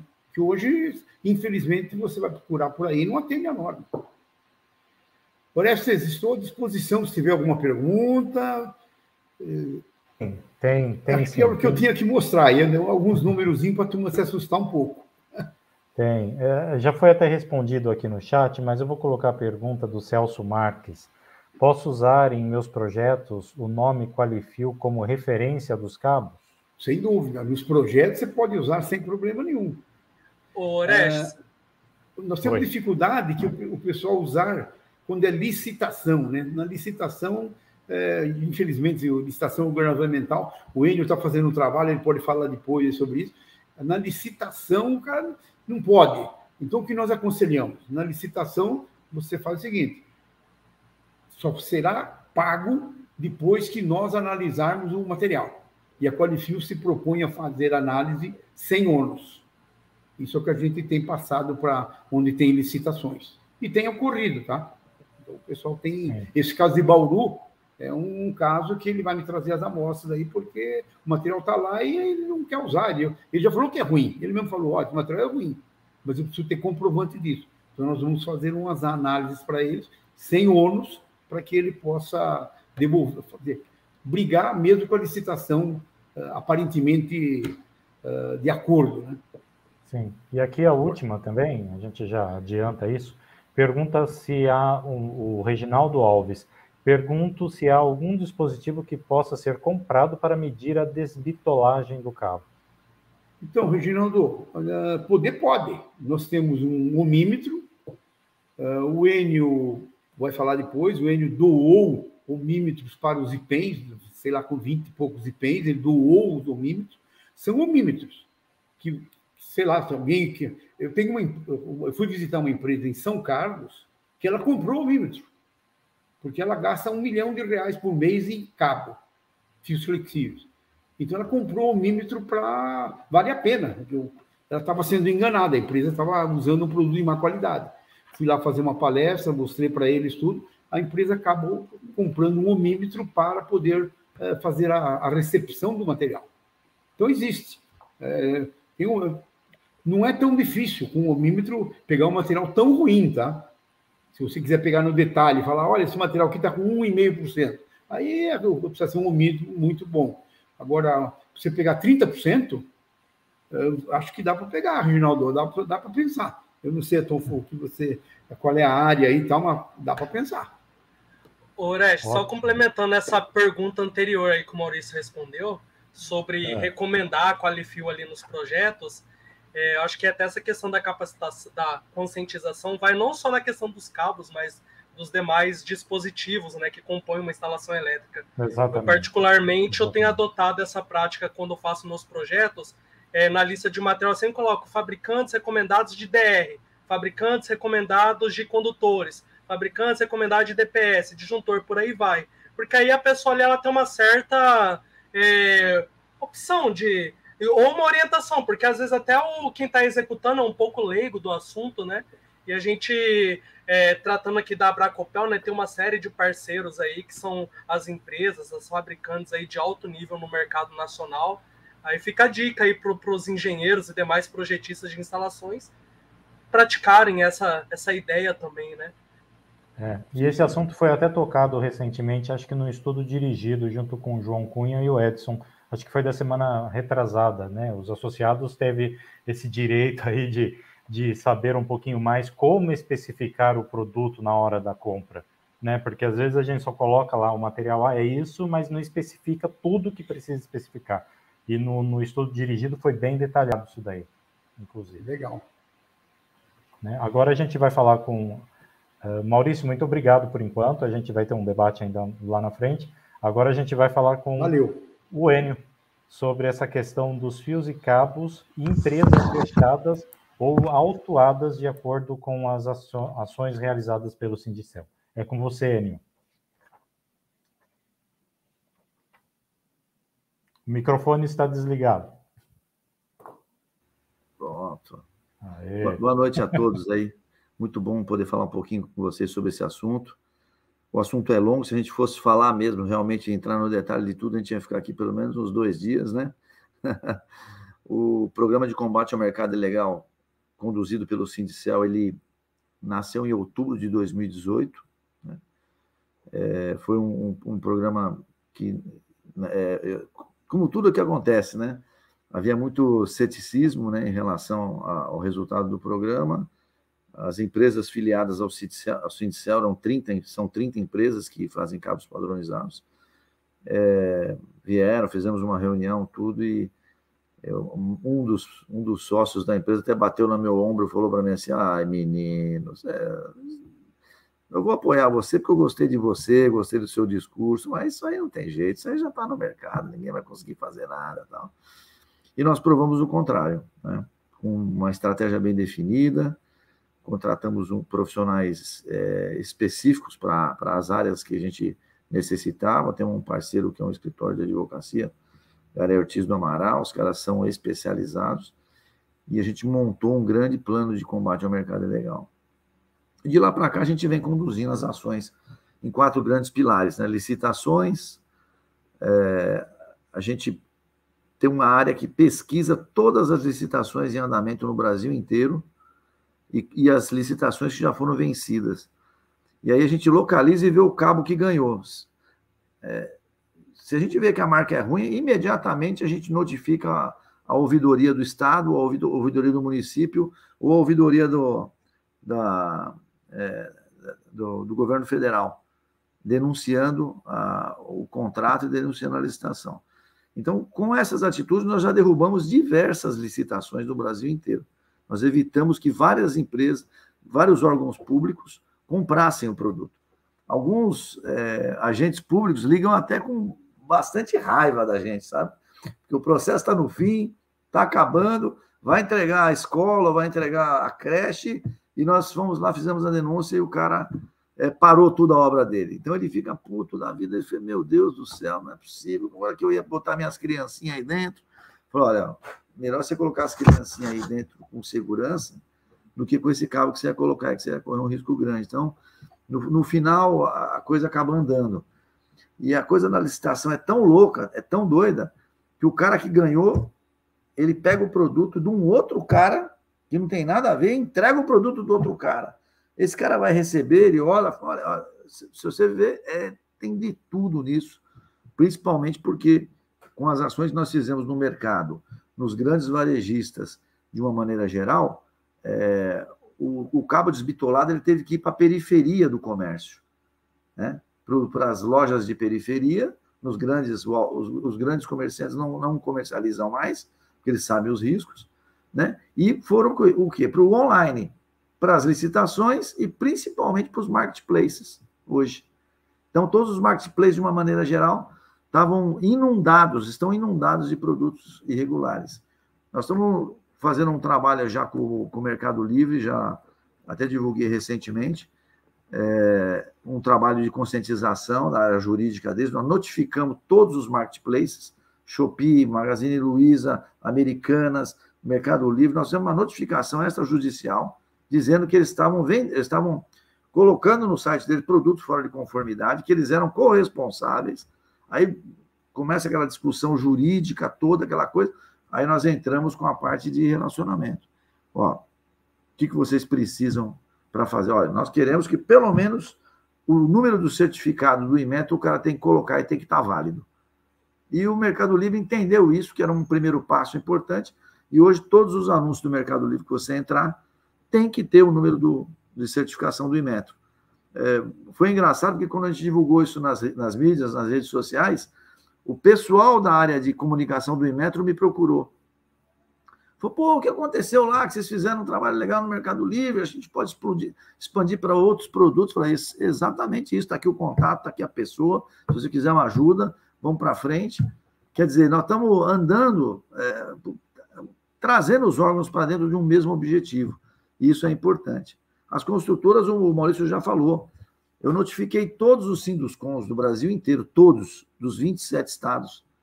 É, notifiquei as 50 maiores construtoras do Brasil e mandei a lista dos produtos ruins para eles. Falei, vocês estão usando esse produto, vocês vão ter problema. As nossas ações aqui em São Paulo, porque São Paulo é muito difícil andar alguma coisa aqui. O IPEM está desmantelado, não tem gente, não tem, não tem como fazer as coisas. É, os DECONs aqui estão atolados com outras coisas, os PROCONs estão atolados com outras coisas, a gente não tinha espaço para entrar. Então, o que, que eu fiz? Eu, junto com o nosso advogado, nós, nós analisamos e nós entramos com um processo no Ministério Público de São Paulo contra nove empresas de fios e cabos elétricos. Sindicel contra as empresas, denunciando as empresas que estavam fazendo um produto fora de conformidade, um grande problema. Foi interessante porque quando eu fui ao procurador-geral do, do, do, Ministério Público, é, ele, ele, me recebeu, eu junto com o advogado, tudo. Até brinquei com o advogado na porta, falei, ó, oh, preciso sair daqui, hein? Eu vou entrar, mas eu quero ir embora, hein? Não vai me deixar preso aqui, né? O, o procurador e mais quatro, o, o procurador-geral e mais quatro procuradores nos atenderam, porque eram nove casos, né? Ele me olhou bem nos meus olhos e falou assim: ó, você está tentando fazer concorrência utilizando o Ministério Público? falei, muito pelo contrário, Excelência. Nós estamos aqui com provas substanciais. Puxei uma caixa de bar na mesa assim, ó, e botei aqui, ó, milhares de análises que a Qualifio fez e todos os denunciados, é, produtos apreendidos no Brasil inteiro, laudos de, de empresas é, como Tuve, como o L. Então, nós somos bem fundamentados e entregamos lá. Inclusive, o dossiê de onde algumas dessas, desses cabos foram parar. E o que, que aconteceu? Alguns desses cabos estavam em alguns empreendimentos em São Paulo e de grandes construtoras. O Ministério Público fez o quê? Notificou o IPEM a se manifestar, notificou a presidente do Imetra antiga, né, a doutora Ângela, a, a, a, vir a São Paulo e, e prestar um depoimento, notificou as construtoras, notificou os fabricantes, ou seja, todo mundo teve que se explicar, está se explicando lá no Ministério Público de São Paulo, em, em função disso. A partir daí, algumas construtoras que já tinham recebido a minha carta, a minha, a minha notificação, nos procuraram e falaram o seguinte: olha, eu não vou registrar o que eu estou falando para você, mas eu quero deixar claro para você que eu, a partir de hoje nós só vamos comprar produtos que estiverem registrados na Qualifil ou sejam sócios do Sindicel. Uma das maiores construtoras do Brasil me procurou e falou: então, nós já começamos a empurrar mais ainda esses caras para a periferia. O nosso projeto veio correndo, nós rodamos todos os estados aqui do Sul praticamente, e numa reunião com, com o presidente do Inmetro, em junho do ano passado, julho, ele apresentamos o problema, conversamos com ele, e é interessante como mudou a presidência do Inmetro, mudou o executivo, mudou a forma do Inmetro trabalhar. Saiu de um ostracismo, saiu de uma inércia e foi para uma, uma área de, de entender os problemas, tentar se relacionar, tentar gerar soluções junto com a iniciativa privada. O, o nosso presidente lá, Marcos Gerson, lá, né, do, do, do Imetro, o que, que ele fez? Ele falou: olha, vai o seguinte, eu vi que você já capacitou boa parte dos IPENs, porque nós fizemos capacitação técnica, levando o, o curso, fizemos a doação do, do micromímetro, e em sequência a gente sempre fazia uma operação ali, acompanhava alguma operação do IPEN e do IMETRO. Ele falou assim: ó, tá faltando quantos estados para você fechar o Brasil inteiro? Ele falou: faltam 15 estados, que é justamente os estados mais difíceis. Acre, é, Rio, é, Acre, é, Amapá, Belém, é, Roraima, Rondônia, os estados difíceis, alguns estados do Nordeste, que são né, João Pessoa, é, Sergipe e tudo mais. Ele falou assim: ó, eu vou lançar um desafio para você. Se até outubro você tiver é, doado os equipamentos e treinado todos os meus órgãos delegados, os IPENs, nos, em todos os estados, eu faço uma operação nacional para você em dezembro. Operação em todos os estados simultânea, uma semana inteira. Falei, desafio aceito. Peguei minha malinha, peguei, comprei quase 30 almímetros, micromímetros, eles custam em torno de R$ 3.500 cada um, alicates de, de descascar fio, os Stanleys, os Irvings, comprei isso aí, peguei os advogados, fizemos agora, nós vamos ter que se dividir. Peguei o Maurício também, falei, ah, vamos dividir, eu vou fazer oito estados, você vai fazer três, vou fazer cinco, vou fazer quatro, então peguei minha mala e fiquei dois meses fora de São Paulo, viajando, fazendo treinamento, fazendo operação de campo, acompanhando as operações de campo com o IPEM. Porque os IPEMs que nós fomos visitar não tinha estrutura nenhuma e não conheciam nada de fios e cabos.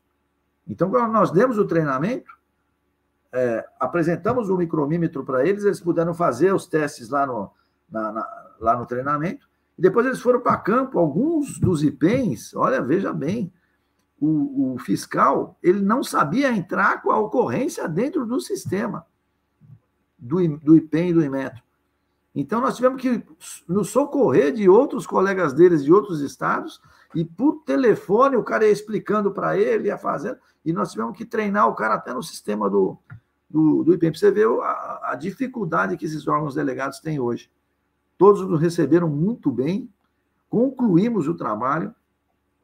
Rio Branco, vou falar para você, quem não foi a Rio Branco, vá para você ver a realidade do Brasil, realmente um, é muito precário, os caras não têm condição nenhuma, complicadíssimo, e a grande maioria dos IPENs que a gente vê pelo Brasil estão aí. Ah, eles estão, eles estão sob a tutela do, do Estado. Os Estados também não têm recurso para jogar dentro dos IPENs, então eles ficam ao Deus dará.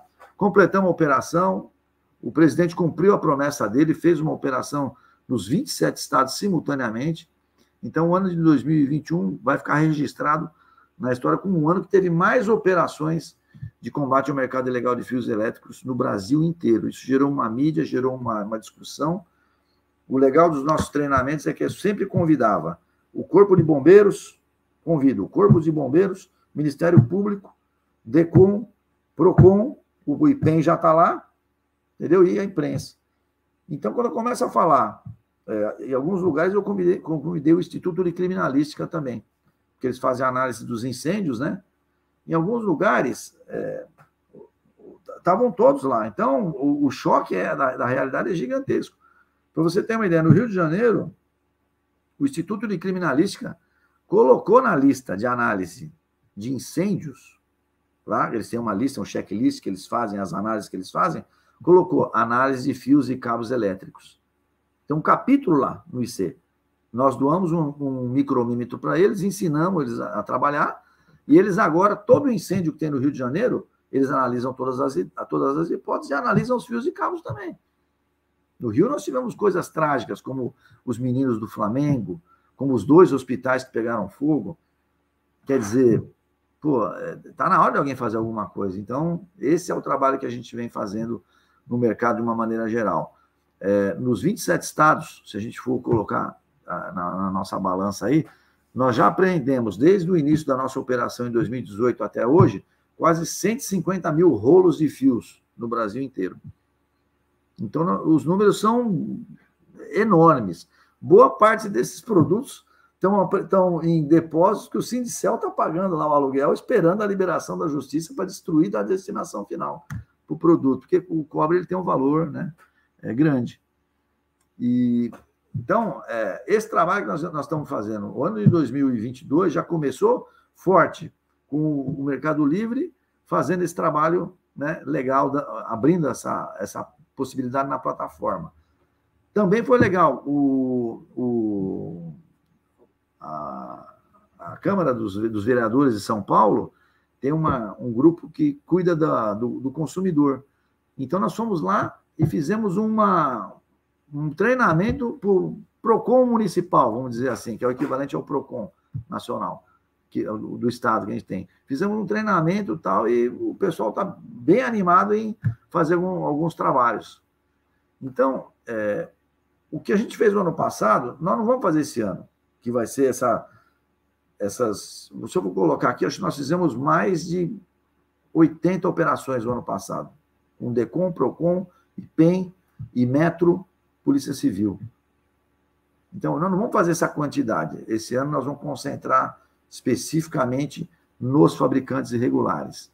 Então, já existe uma conversa específica com o presidente do IMETRO sobre isso. O, o, o IPEM de São Paulo já fez um trabalho prévio de análise dos, dos fabricantes que estão em São Paulo. 80% dos fabricantes de fios e cabos elétricos estão em São Paulo. Então, se a gente conseguir dar uma celeridade, fazer um trabalho profundo nesses fabricantes, estados como Mato Grosso, como Acre, como Rondônia, não vão receber esse fio ruim. Ou vão ter uma fabriquinha lá que vai fazer, que é muito mais fácil de, de ser identificada e, e ser desmantelada do que um fabricante estruturado aqui, com registro no Imetro, fazendo produto desbitolado e mandando para o Brasil inteiro. Então, o trabalho que a gente fez, que a gente vem fazendo em conjunto com com a Qualifil. Maurício, meu parceirão aí, enchi tanto saco dele esse ano, mandei tanta amostra. Essas 600, acho que eu mandei umas 300 para ele fazer análise, né? E tudo para ontem, né? Que tudo para ontem que eu preciso fazer, nós precisamos fazer a operação tudo para ontem. Então, é, nós vamos continuar o trabalho forte. O institucional esse ano vai ser muito forte mesmo. Estamos fazendo um, uma parceria com a Bracopel aqui, estamos fazendo uma análise no Hospital de São Paulo para verificar, checar as instalações elétricas. Com o resultado dessa análise, nós vamos provocar o Ministério Público, vamos provocar o governo do Estado, as prefeituras, para que se faça alguma coisa, uma, uma revisão em todos as, né, os prédios públicos que têm uma necessidade gigante, né, um fluxo enorme de pessoas, né, que cuidam de vidas, de crianças e tudo mais, para que a gente faça, pelo menos na, na parte pública, a gente comece a fazer essas revisões e a gente comece a, a girar aí a, a roda da, da, da, conformidade e também da segurança das pessoas. Então, Martinho, Maurício, Orestes, é, Walter e, e, o professor Danilo, o Sindicel tá, vai estar sempre à disposição aqui de vocês, dos consumidores, para abrir parcerias, trabalhar em conjunto e ouvir novas ideias para a gente poder oxigenar esse trabalho que é um trabalho contínuo, eu não vou resolver. A gente estima, eu estimava que tinha 30% quando eu entrei de produtos é, fora de conformidade. Hoje a gente estima que está em torno de 20%. Nós tivemos um ganho de 10% em, em três anos. Se eu for colocar isso monetariamente falando, nós estamos falando de quase 600, 700 milhões de reais a mais dentro do mercado conforme. Entendeu? Então, os fabricantes hoje, que estão na, na cadeia do Sindicel e da Qualifil, eles têm essa consciência. Fala, pô, esse programa não pode parar nunca. O Enio vai sair daqui, esse programa vai continuar. O Maurício vai sair da Qualifil, o programa vai continuar. Entendeu? Não, não é uma coisa pessoal nossa, é uma coisa, obviamente, tem a nossa dedicação, mas é uma coisa que está estruturada dentro das entidades, para que não vamos mais perder esse compasso. Porque se você soltar em seis meses, está tudo de volta, aquela bagunça toda. Então, contem uhum. com a gente e estou à disposição para perguntas aí, viu, Martinho? Viu, Orestes? Vamos lá. Sim, tem, tem uma aqui que não é bem uma pergunta, mas é uma questão para a gente pensar. Uma outra opção que o Marcos colocou, Marco, Marco Oliveira, não seria pelo peso do cabo mas eu penso o seguinte: se você pesar o cabo, pode ser que o material de cobertura esteja mais elevado do que o próprio cobre, correto? O PVC, o Maurício já falou isso, mas eu vou explicar.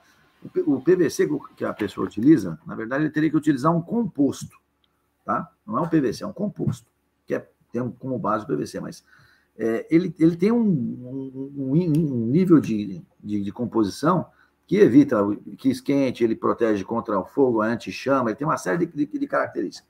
O, o, cidadão ele usa um, um PVC que é utilizado para fabricar chinelo, uma borracha para fabricar chinelo, chinelo havaiana, por exemplo. Então ele, ele utiliza, passa aquilo lá, fica bonitinho, brilhante, passa aquela tinta, fica bonitinho, nossa, que coisa bonita tal.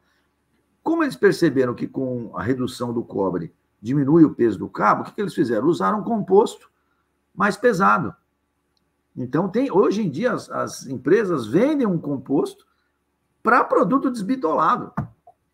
Né? Eu, eu, brigo, porque essas, essas, empresas são as mesmas que fornecem para os meus, é, meus fabricantes, os conformes. Mas elas têm produtos que são para outras aplicações que o cara usa para fazer o, o, cabo. Então não adianta, gente, o peso só não resolve.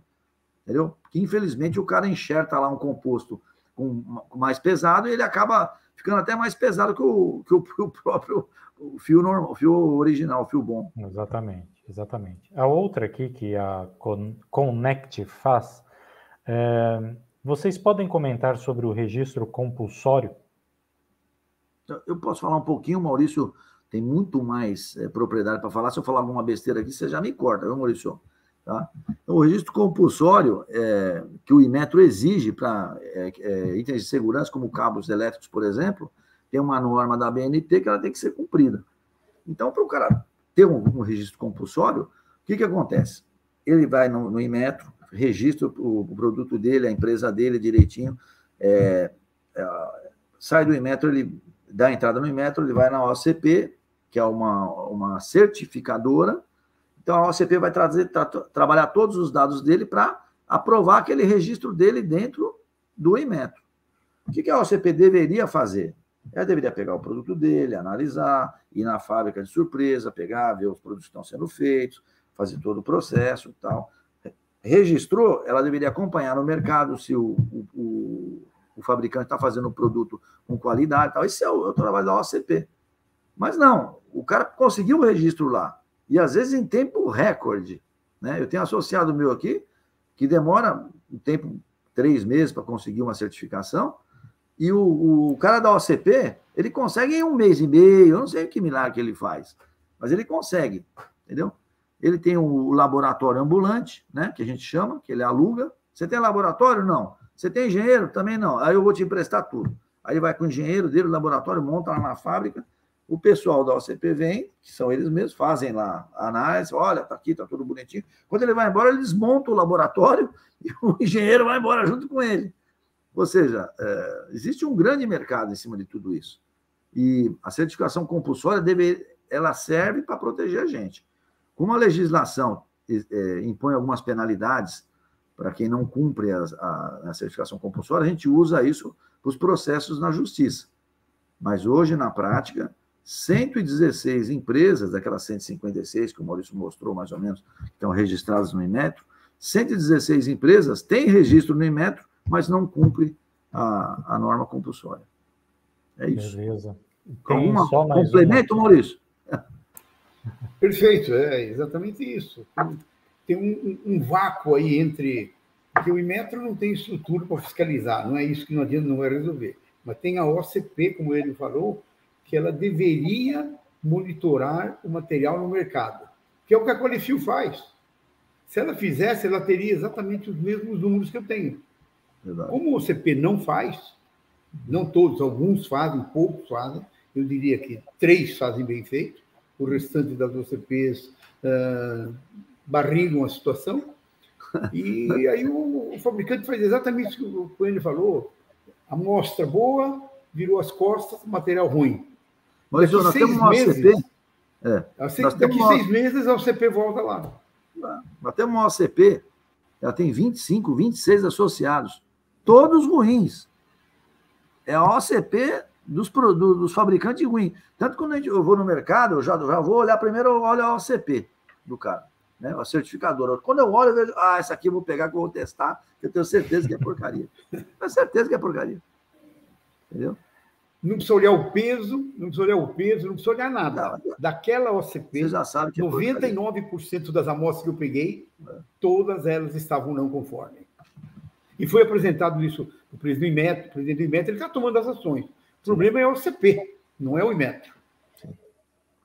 Orestes, estou com você aí. Está com você. É só mais uma aqui, que é do Walter também, né? Inclusive, eu vou colocar aí na tela, é, que é a última antes da gente já entrar no bloco final. Tá? Enio, é, não seria talvez a oportunidade das empresas que estão ok instrumentalizar os IPENs? É, é isso que, que a gente está fazendo. É isso que nós fizemos o ano passado. Entendeu? Só para você ter uma ideia, o Sindicel, ele, o laboratório de São Paulo é um dos mais modernos do Brasil, se não do mundo, o, laboratório do IPEM de São Paulo. Ele foi doado há cinco anos pelo Sindicel. Entendeu? Então, é, todos os IPENs hoje, do Brasil inteiro, têm um micromímetro lá, na sede. No, no, todos os estados têm um micromímetro. E, o, e os técnicos do IPEM foram treinados por, pelos nossos profissionais, pelos nossos técnicos. Então, foi isso que nós fizemos, nós estamos fazendo já há algum tempo, e o ano passado nós aceleramos esse processo e capacitamos 100% dos estados com micromímetro e treinamento. Então, esse ano, nós vamos estar muito mais num, num processo de levantamento de, pro, de produto ruim no mercado e denunciando nos IPENs locais para que se façam as devidas inspeções. Porque o Sindicel não inspeciona ninguém, o Sindicel não prende ninguém, o Sindicel não, não faz nada. Na verdade, nós provocamos as autoridades que, que o fazem. IPEM e Metro. Delegacia de Crimes do Consumidor, PROCON e Ministério Público. Essas são as nossas ferramentas. Nós temos que andar de acordo com a lei. Então, é o que a gente faz. Ótimo. Só uma contribuição, Orestes. Sim, claro. Eu participei, Enio, aqui de um treinamento, inclusive desse que foram feitos nos estados. Foi feito aqui na Secretaria de Indústria do Estado de Mato Grosso. Legal. É, graças aí ao Sindicel e, e a Qualifil.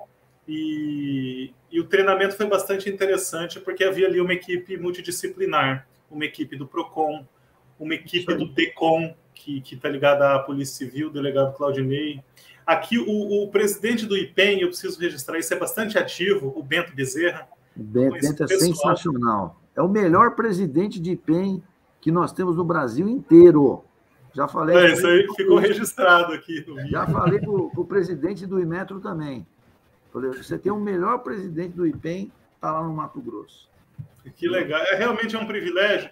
E aí, posterior, é, eu participei também da batida. Nós fomos às algumas lojas verificar a qualidade é, dos cabos. No treinamento, quem participou do treinamento, o Maurício fez a palestra e o, o Ricardo da Garé.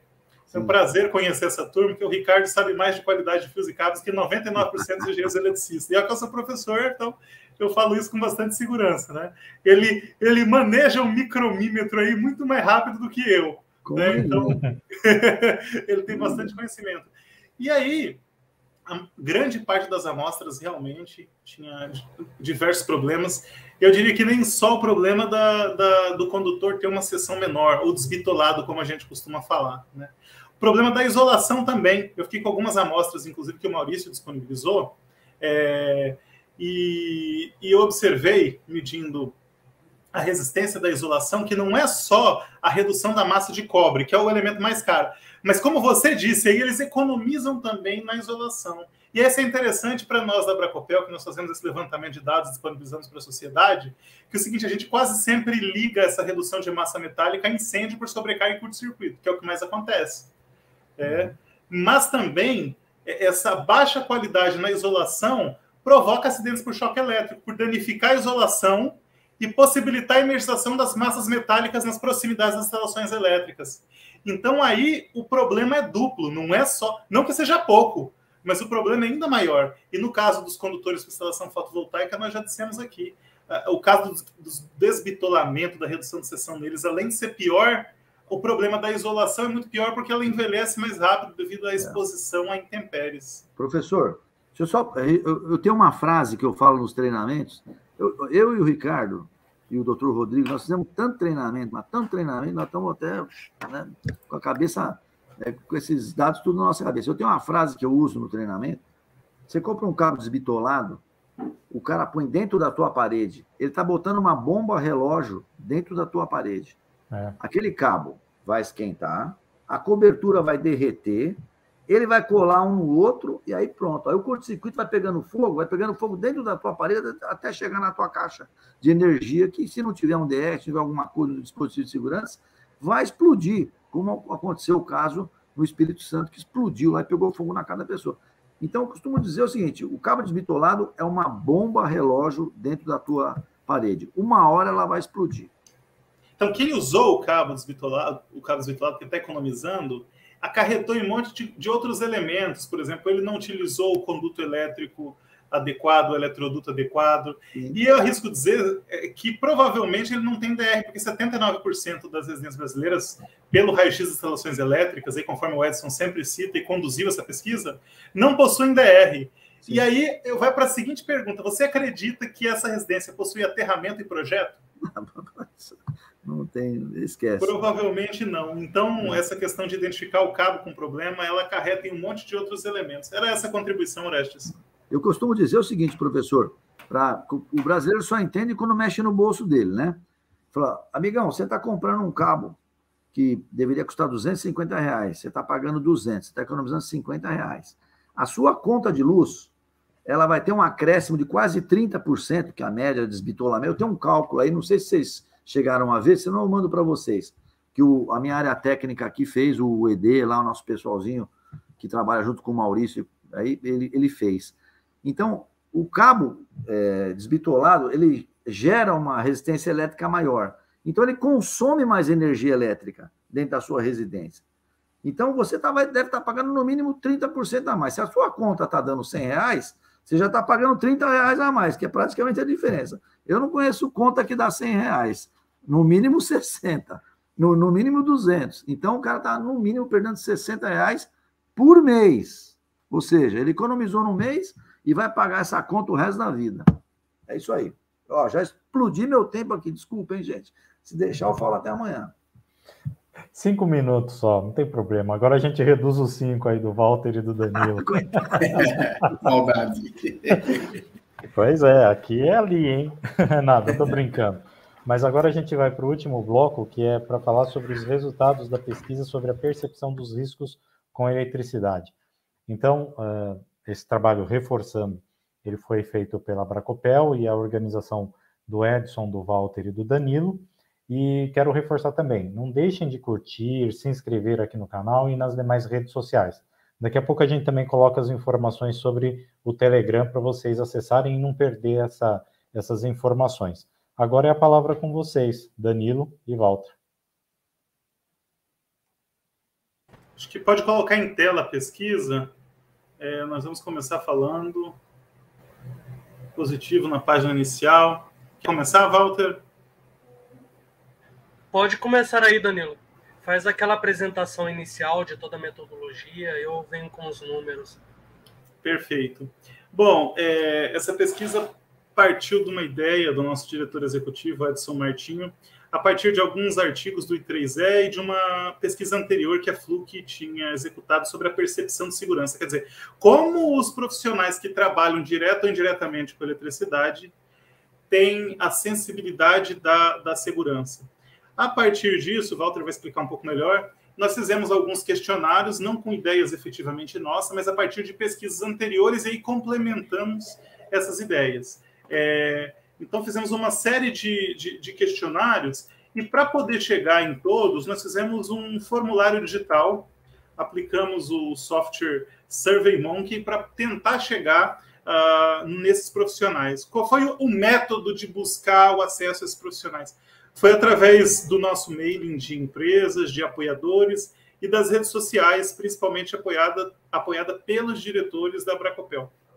E é importante falar, esse manuscrito, esse é um livro digital, um e-book, é, ele tem três organizadores, porque efetivamente são os responsáveis pela organização da obra. Entretanto, são exatos 30 autores, são os diretores da Bracopel, todos contribuíram com uh, o acesso aos profissionais, são os diretores, os 11 diretores das regionais, a diretoria executiva, o conselho fiscal.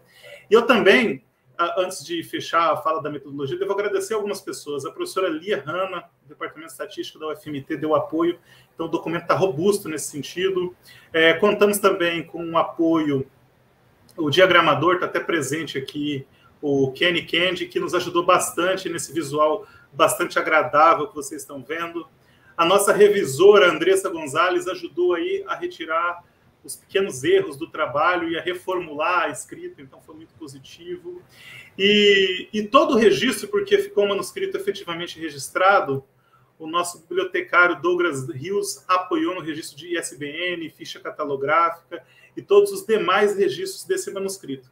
Então, nós conseguimos chegar em mais de mil profissionais que estão relacionados direto ou indiretamente. Poderíamos ir para a metodologia e passando as páginas aos poucos, Edson? Danilo, deixa eu só registrar também o apoio. Né? Nós tivemos a ajuda dos nossos parceiros, os apoiadores da Bracopel, a ABB, a Cobrecon, a Dupont, a Finder, a Fluke, a Hellerman, a Leal, a Westex, a Tecno, a Vago, o Sindicel e, e, o Qualifil, que ajudaram também a replicar os seus mailings, né, para a gente poder chegar nas indústrias. Então, é, não posso deixar de, de, de, computar esses parceiros que também nos ajudaram para conseguir esse número expressivo e muito interessante que você vai citar daqui a pouquinho. Isso, uh, na página até 43, não precisa colocá-la agora, mas tem a logo de todas essas empresas que contribuíram com a pesquisa.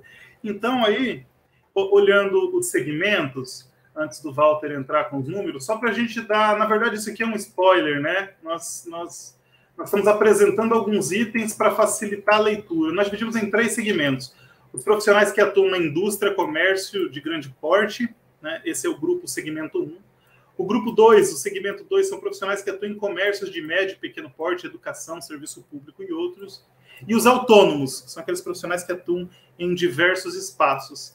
E, e foi muito interessante, porque basicamente, o Walter vai explicar melhor, e vai ser bem rápido, porque nós queremos que as pessoas leiam o material. Nós estamos trazendo esse material para ser lido, para ser citado, para ser utilizado, assim como o anuário. Nós fazemos uma breve discussão no anuário, mas ela não se esgota ali. É uma contribuição com os dados. Aqui também. E a divisão foi mais ou menos semelhante, 30% para cada grupo profissional. E o que nós observamos é que os profissionais que estão no segmento 1 e 2, por exemplo, eles têm muito mais acesso a treinamento do que os profissionais que estão no grupo 3, que são os profissionais autônomos. Né? Isso, por exemplo, é um diagnóstico da pesquisa a partir desses dados. Outro elemento é a sensação de segurança, que muitas das vezes há uma sensação de segurança, mas quando você vai ver os resultados, os profissionais não estão fazendo capacitação. Como é que ele diz que se sente seguro e atualizado, sendo que ele não faz cursos de capacitação?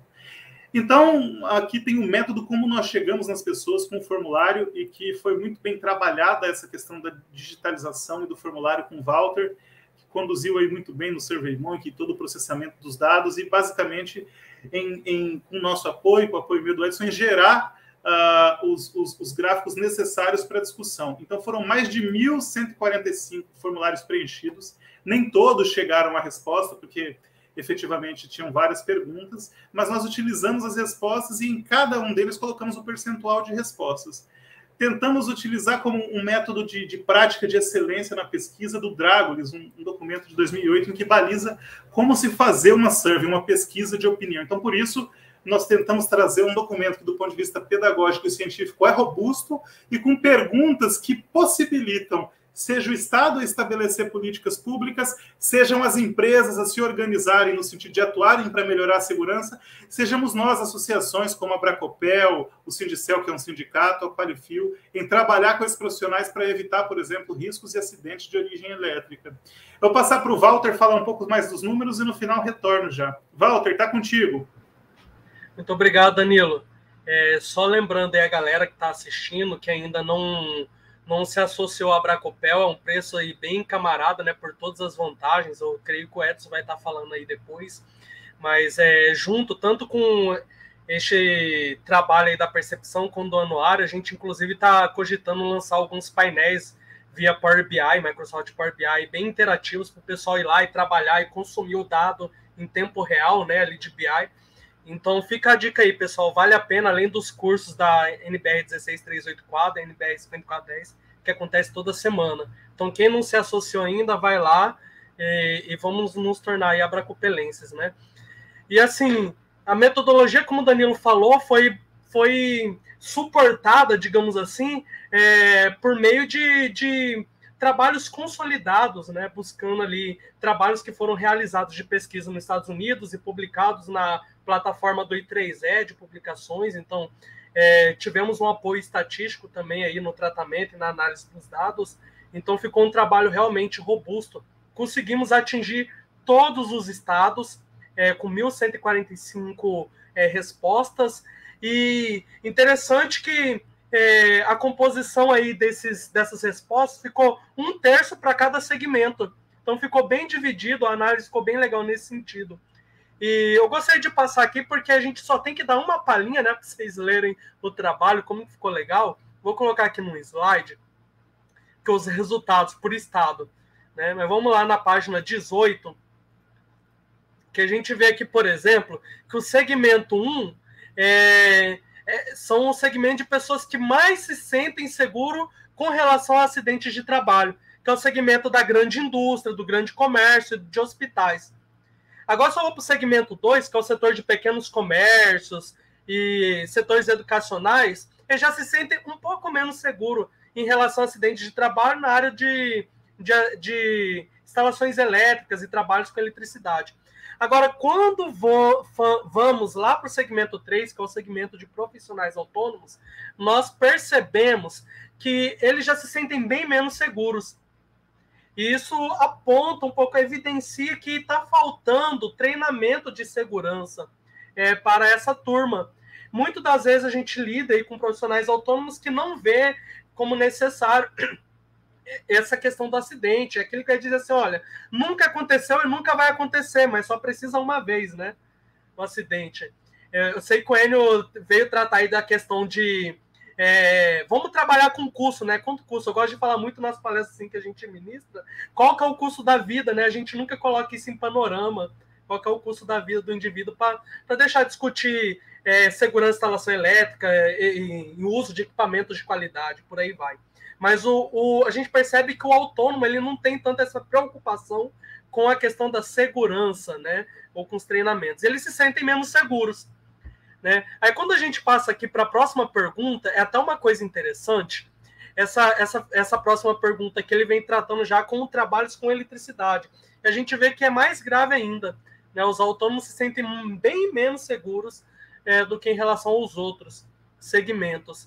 E isso é, comparado com essa próxima pergunta aqui, ele vai dizer assim: existem oportunidades de melhorar a segurança do trabalho referente aos riscos elétricos no local de trabalho? Ou seja, olha, a instalação precisa melhorar a segurança. Me torna um pouco contraditório, porque a maioria diz que se sente seguro, mas que precisa melhorar a segurança. Então a gente percebe que muitas das pessoas que respondem não tem nem a noção do que, que é, é de fato trabalhar num ambiente seguro, é, com procedimentos adequados de trabalho, utilizando ali é, as ordens de serviço, equipamentos de proteção individual e coletiva e por aí vai. Né? A gente vê que não há essa, essa questão.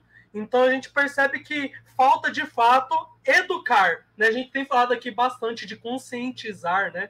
E a Qualifio, assim, de céu, vem falar de conscientizar quem vai comprar os equipamentos, os fios, né? as construtoras a Bracopel fala muito de é, educar todos os segmentos, inclusive o leigo. A gente precisa é, ensinar essa cultura de treinamento de segurança mesmo. E o trabalho ele vem mostrando essa evidenciando essa realidade que falta treinamento de segurança, a cultura de segurança em instalações elétricas, em trabalho com eletricidade, e que muitas das vezes os trabalhadores não têm essa própria noção. Aqui a gente mostra é, também que muitos dos trabalhadores entendem que é um dever de todos compreender a, a segurança do, no trabalho, né? O que também fica um pouco assim contraditório, porque a maioria não entende que há essa segurança, que está faltando treinamento e por aí vai. Então, estes são os dados, né? Tem muitas outras questões aqui que a gente traz, que a gente é, perguntou para os trabalhadores, né? Fizemos um trabalho bem legal aqui de compilação dessas informações e de diagnósticos.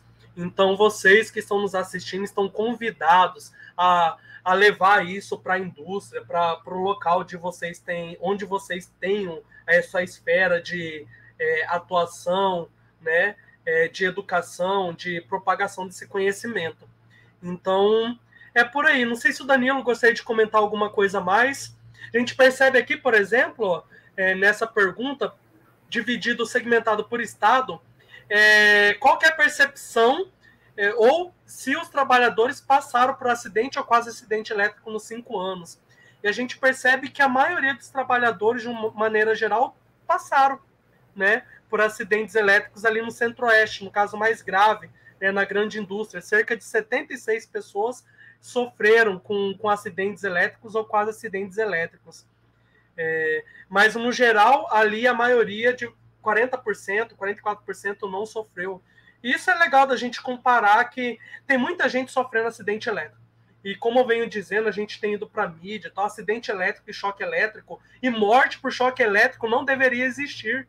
A gente já está tem toda uma normatização, toda uma regulação normativa e legal consolidada no país há décadas.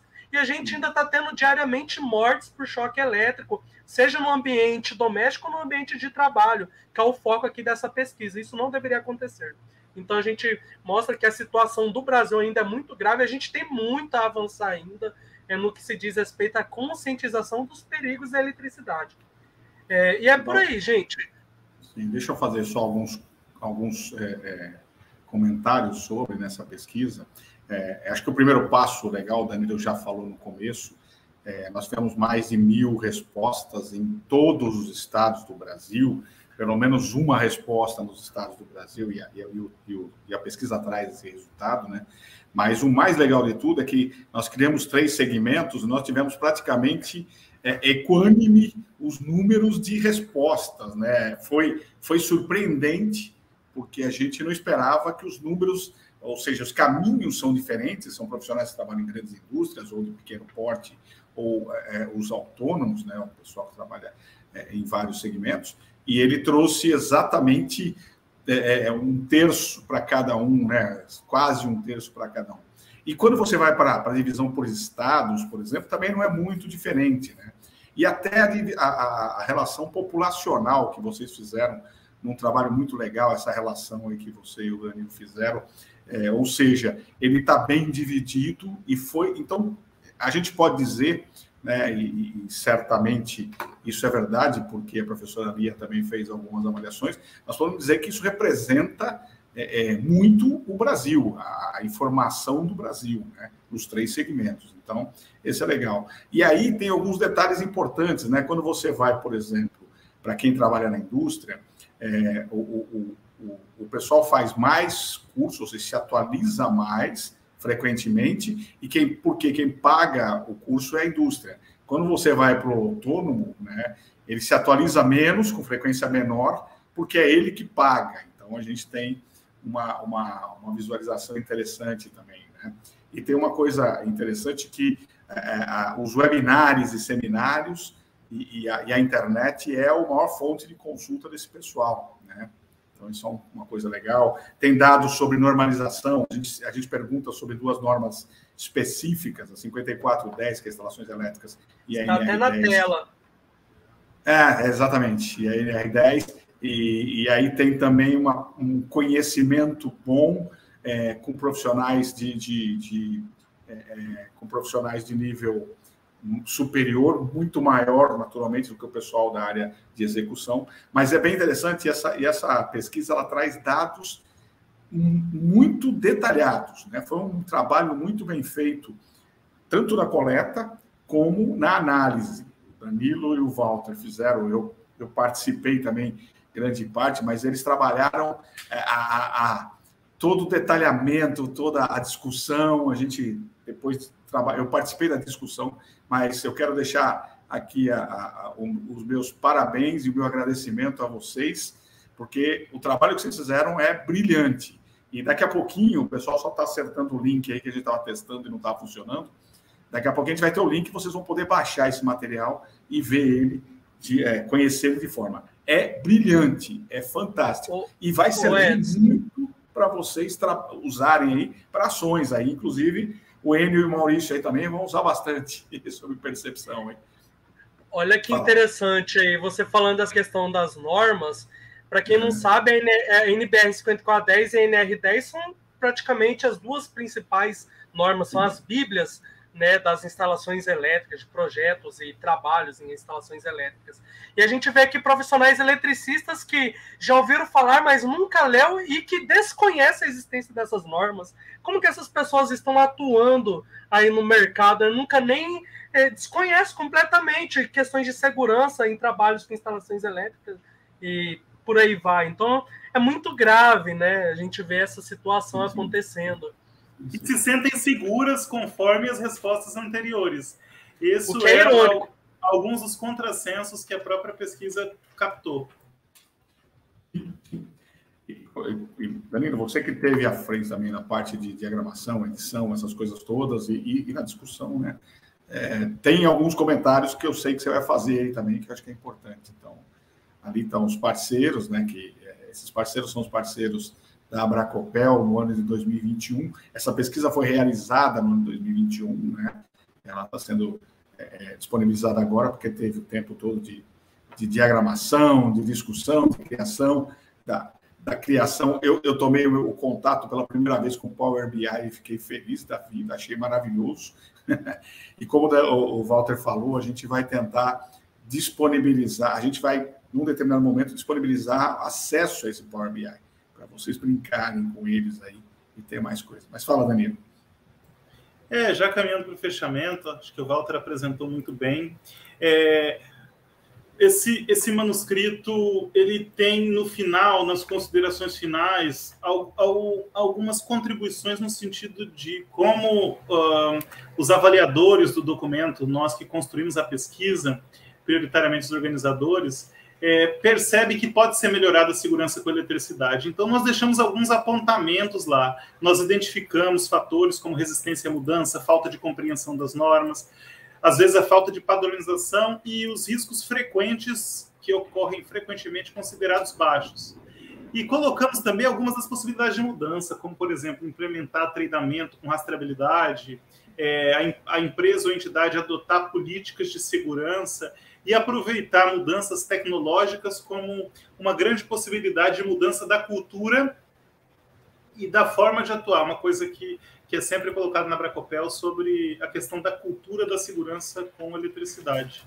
Então, basicamente, é um convite às pessoas a lerem esse manuscrito. O contato da Bracopel ele pode circular digitalmente também, acessar no site, fazer o download, o cadastro. E na penúltima página do manuscrito tem todo o contato da Bracopel. Então é importante seguir a Bracopel aí no Instagram, nas redes e que nós estamos sempre trabalhando com disponibilização de novos documentos. Agora, essa pesquisa acreditamos que ela é importante, não tem outra feita nacional com, com, com, com essa robustez. É, o anuário, dia 30, em breve, será lançado, estamos trabalhando nele, já implementando algumas melhorias. É um documento que é um sucesso desde 2013. Então, ano que vem, a Bracopel chega à sua maioridade e o anuário completa 10 anos, né? Exatamente. Então, e agora a gente está tá trabalhando para, em algumas melhorias, o documento já é um sucesso, aí, graças ao Edson Ameir e a toda, e a toda a equipe. O raio-x das instalações elétricas residenciais, que é bastante citado essa semana aqui uh, na emissora regional, inclusive nós fizemos uma reportagem sobre isso. 79% das residências brasileiras não possuem o DR, a gente não cansa de falar do DR. E nós vamos trabalhar agora, esse ano ainda, né, já estamos montando os formulários, a equipe de processamento, etc. O raio-x de instalações elétricas comerciais, quer dizer, como é que está o comércio aí e, e, os órgãos públicos no que se refere ao cumprimento da legislação, à existência de equipamentos de segurança é, e não sei se nós vamos conseguir, mas em relação à qualidade dos fios e cabos empregados. Então, acho que a entidade contribui com conhecimento, com segurança, instalações elétricas e essa possibilidade de disponibilização de dados, ela é o primeiro passo para a mudança da cultura no que se refere à segurança e possibilitar que os órgãos é, públicos estabeleçam políticas públicas para a melhoria na segurança, bem como as empresas privadas também têm a possibilidade de implementar isso. Aí nós temos um dado importante que é em relação aos autônomos e com essa digamos, com esse segmento é mais difícil trabalhar. Mas nós estamos enviando isso também para o Sebrae, que tem capilaridade para conseguir é, chegar nesses autônomos. Então, essa é uma das ideias, resultados dessa pesquisa. E obrigado pelo convite, Edson, de estar participando. Eu acho que por mim nós já podemos ir para as considerações finais. Ô Danilo, e, e, bem, bem comentado aí de todo esse trabalho que está sendo produzido, em especial agora a gente está com esse processo de catalogação né, do, dos documentos, eles estão sendo é, feitos de tal forma que podem ser usados para propósitos acadêmicos e científicos. Aí, né, estamos utilizando é, toda metodologias robustas aí de estatísticas e, e buscando fazer o bench, benchmark né, dentro da, do que há de mais relevante aí de pesquisa científica para trazer para a gente também. Então, se você for olhar esse material, ele tem toda uma, tem lá no começo a ficha catalográfica e como citar esse material. Então, é um convite também para estar tá usando, né? É muito interessante isso.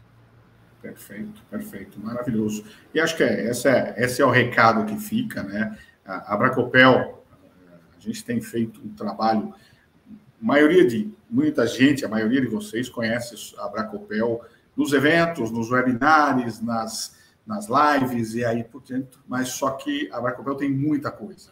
A pesquisa, né, as pesquisas são um, uma das nossas variantes, a participação em normalização, nosso, nossa galera aqui participa é, em todas as normas principais, foi citada a 16690 aqui, nosso presidente, o Vinícius Airão, é um dos membros desse, desse trabalho, nosso diretor técnico, João Cunha, está na 54, na 14039, está na 16690, está sempre participando. Danilo participa nas normas, Walter está sempre participando também. Eu coordeno uma das normas que a 16384 coordenava, pelo menos até dia 21, quando tiver a nova eleição desse, deste, deste ano. Mas é, então a gente está também fazendo isso e nós temos um trabalho junto à população. Nós temos um concurso de redação, desenho e vídeo para garotada de 6 a 18 anos, né? É, que começou, já começou, já está em andamento essa semana, né? É, tem o, o, o, o, prêmio jornalismo que a gente está encerrando, que encerrou agora, a gente está completando e vai ter a premiação no dia 30 de março, junto com o, lança, o lançamento do Anuário, que é outro produto nosso. Temos esse ano uma série de lives que vão acontecer. É, temos o, a, o estudo dirigido que acontece das normas 16384 e 5410, todas as terças-feiras à noite, é, exclusivo para quem é associado à Bracopel, então para quem quiser é, é, se associar e participar conosco, acesse lá o nosso site em associado, lá você tem é, vários benefícios e consequentemente, pode participar desse estudo dirigido.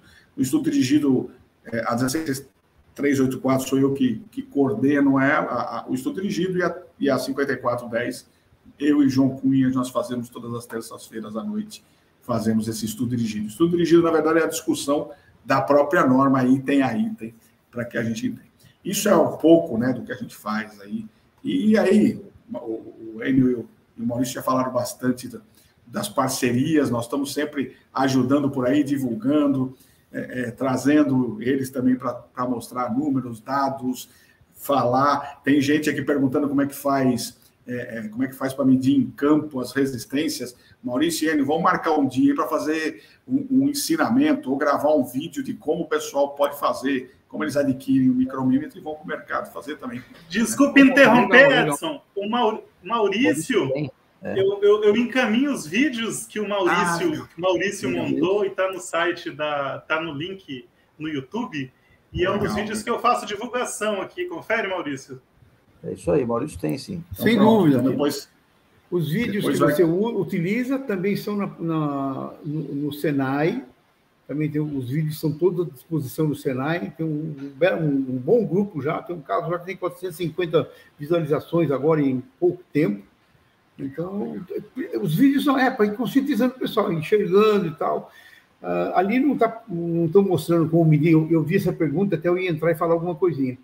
O mímetro é, é, não é difícil de usar, porque é para medir a resistência.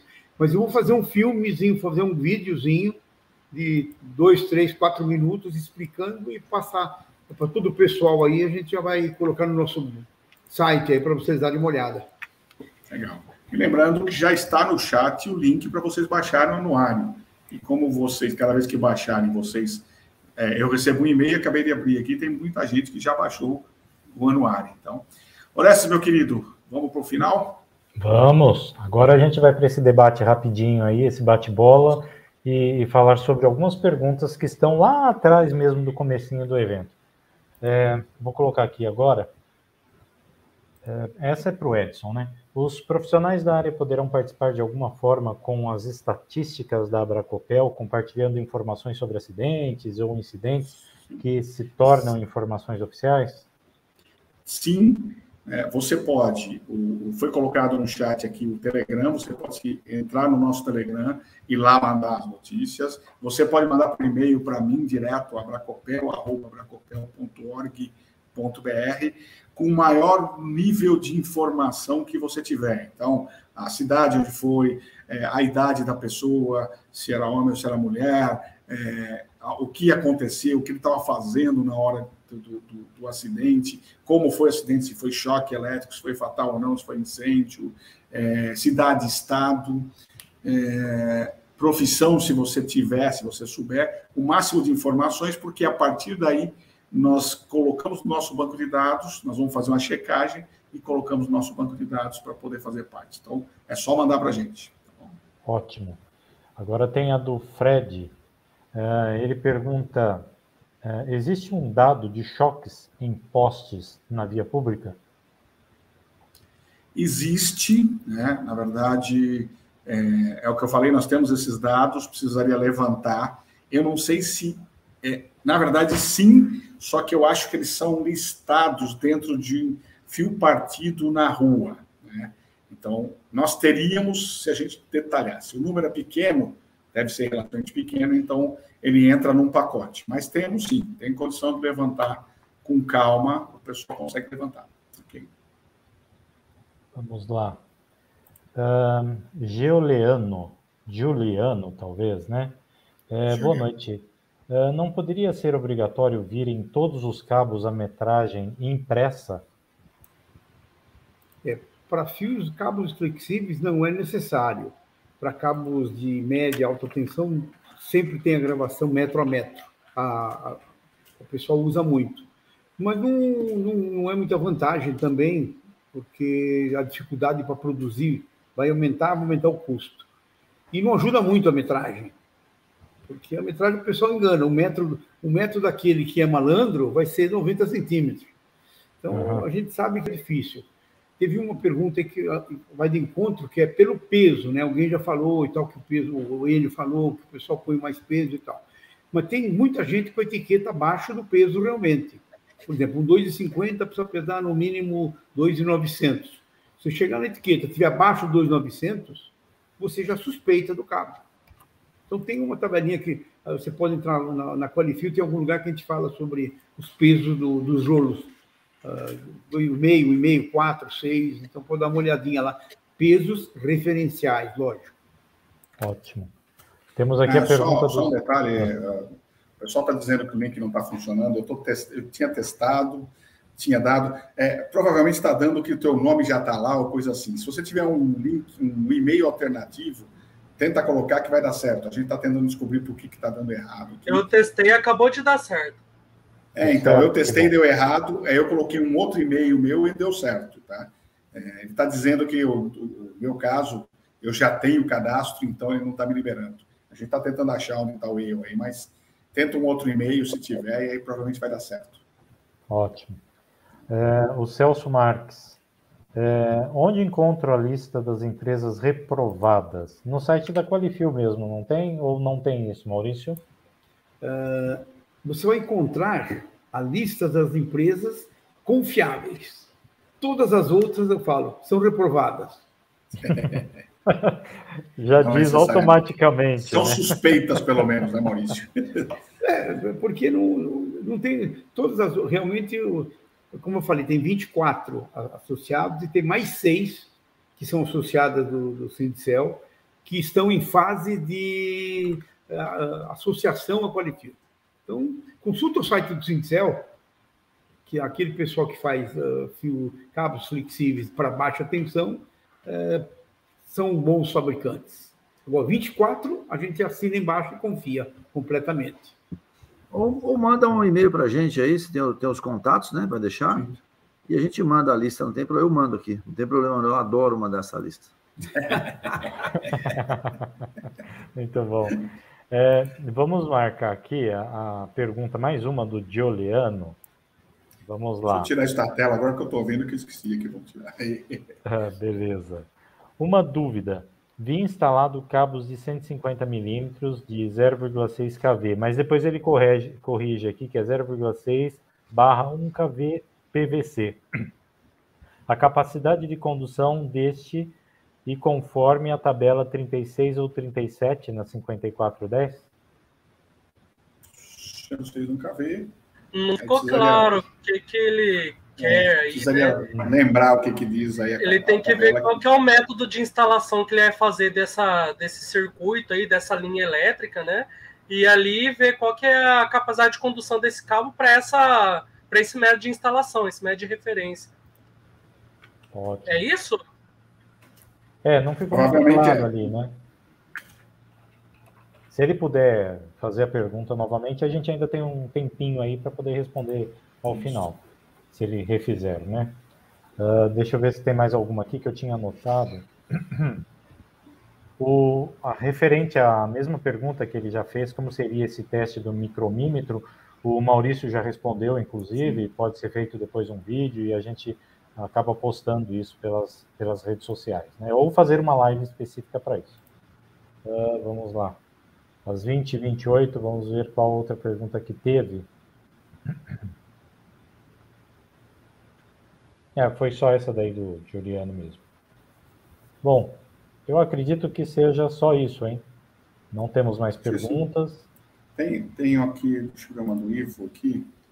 Pessoal, existem análises semelhantes aos cabos e fios para os demais dispositivos elétricos, por exemplo, para disjuntores, eletérnicos, sequelas e outras sequelas, deve ser alguma outra tentativa de coisa. É, não que a gente conhece, né? Aliás, é, o Maurício ele, toda vez que aparece um, uma discussão em algum lugar, eu digo assim: pega o exemplo da Qualifio e vai fazer. Eu tive num seminário alguns anos atrás, é, reunindo ali para falar sobre segurança de produtos, EPIs. E, e aí o pessoal, não, como é que a gente consegue? Como é que a gente resolve o problema no mercado? Como é que não sei o quê? Aí eu disse, junta todos os fabricantes de EPI, cria uma associação, cria uma Qualifio, uma Quali EPI e faz o que, o que, o que a Qualifio faz, ou seja, vai no mercado, ensaia e detona. Então, que eu saiba, não tem outro semelhante a isso. Infelizmente, não existe nenhuma realmente. Já tentaram montar a Quali Lâmpada, né? Sim. Quali Disjuntores, tivemos um pouco do Cirtiel que ajudaria um pouquinho também na época. Sim. Mas, infelizmente, no Brasil não tem. É, é complicado, viu? Você tem uma oh. ideia? O presidente do Inmetro, quando ele faz as palestras dele, do novo marco regulatório e tal, ele cita o nosso exemplo.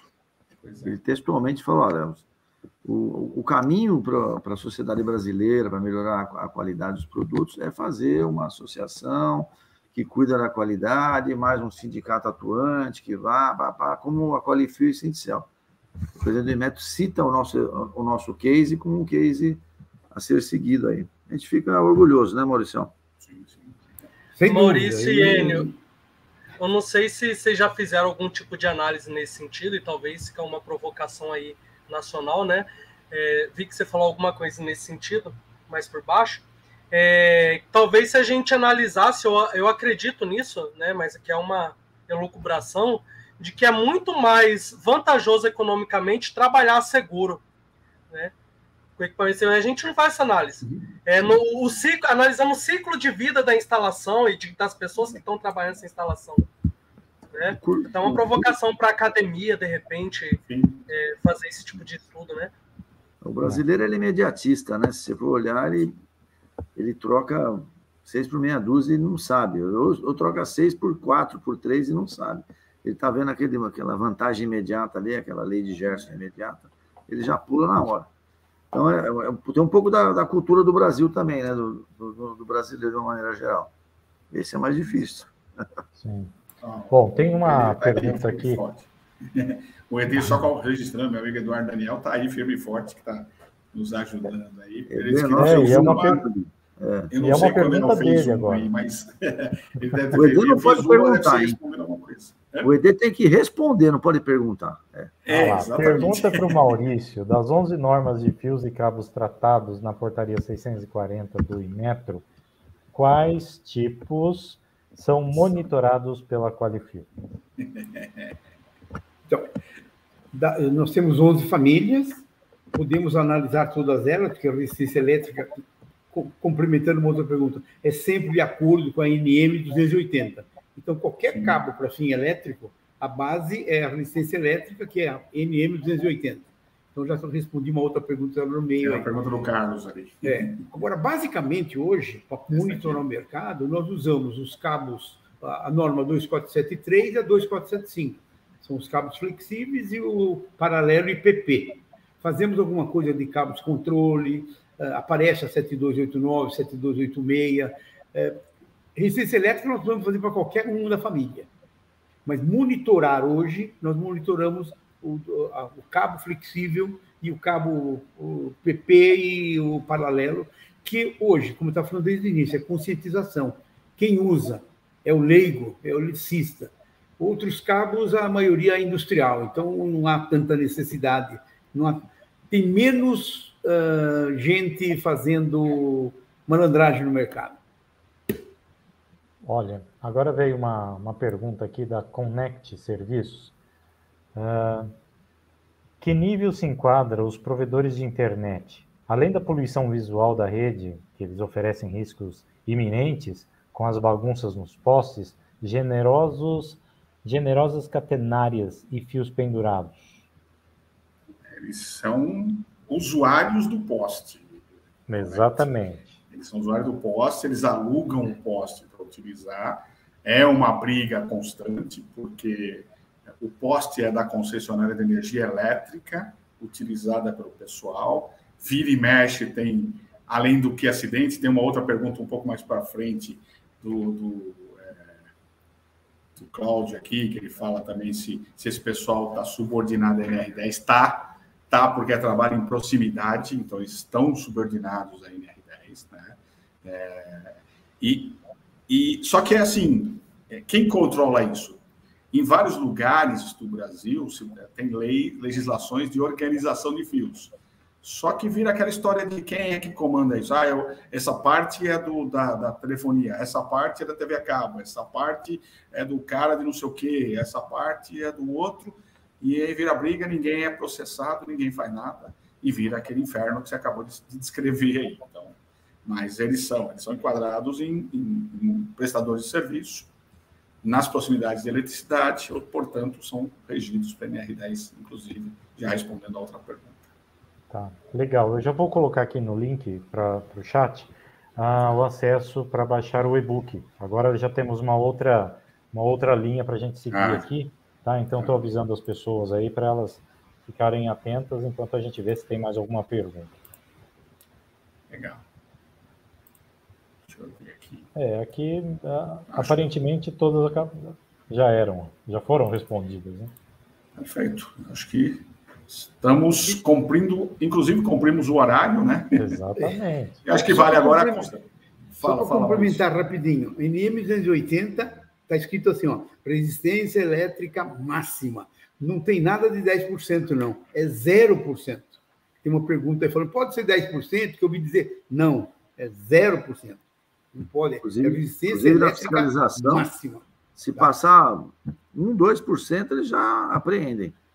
Para verificação, faça, faça uma nova medida, medição, depois no ambiente controlado, de temperatura, tudo, mas é, ocorreu até apreensão de, de produtos dos nossos associados, que estava 40 graus lá em Cuiabá, o cara mediu, deu 5% de resistência elétrica acima. Aí chegou no laboratório, tudo bonitinho, puta, deu na, na mosca, bonitinho lá, ó, tá vendo? Tem esses problemas. Isso a gente sempre leva em consideração. Aí tem até que fazer os, os fatores de correção, né? De temperatura, agrupamento. Sim, sim. Normalmente a gente não precisa, porque a, a, a resistência elétrica é 30, 40 para cima, então a gente nem se preocupa. Mas quando é muito curtinho assim, a gente sempre orienta nos treinamentos tudo mais. O IPEM também, a maioria tem esse cuidado, leva para o laboratório e faz em ambiente controlado. Aliás, o laboratório de Cuiabá nós doamos também, viu? Nós fizemos uma reforma lá para o Bento. É, bom, acho que vamos para o final, considerações finais, né? Sim, vamos lá. Primeiro. Da final. É verdade.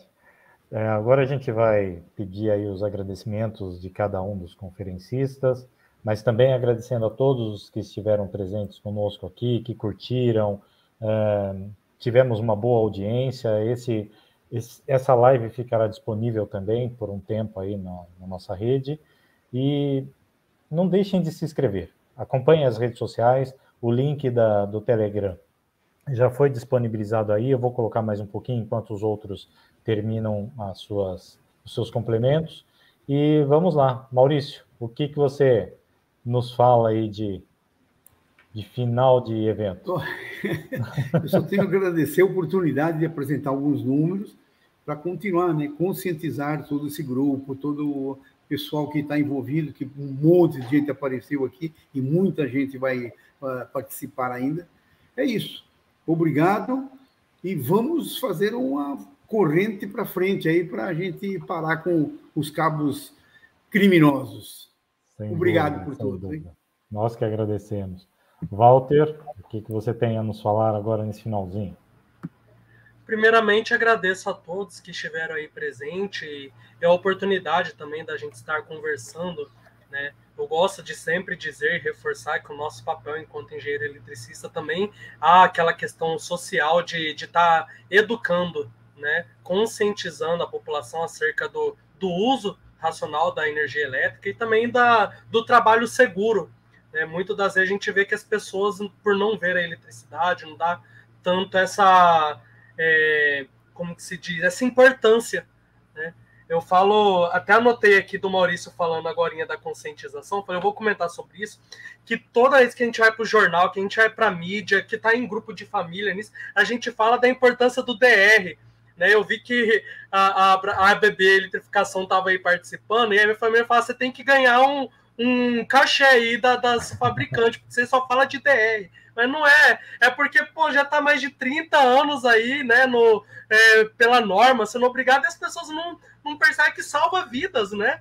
Sim, eu não. tive a oportunidade de ver instalações hoje que não tem nem disjuntor. Então, assim, são coisas basilares que, que assim, realmente é, as pessoas não dão importância. E muitas das vezes orientada por maus profissionais que não têm capacitação técnica, não tem treinamento de segurança, que fala, ó, não instala, porque vai desligar a sua instalação e vai te dar dor de cabeça. Mas não fala, ó, tá desligando porque tá tendo problema na sua instalação, vai arrumar.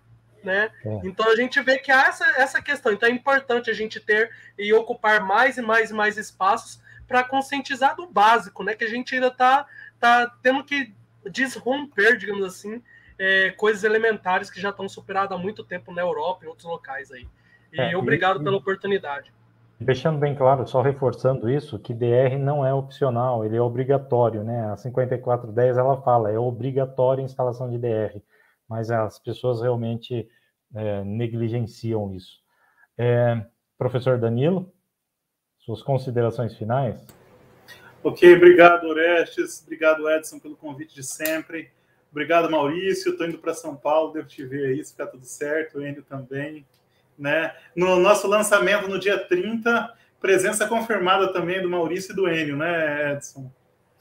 Walter aí, o parceiro de sempre nos trabalhos. Foi muito bom poder estar tá participando, é, poder participar dessa live.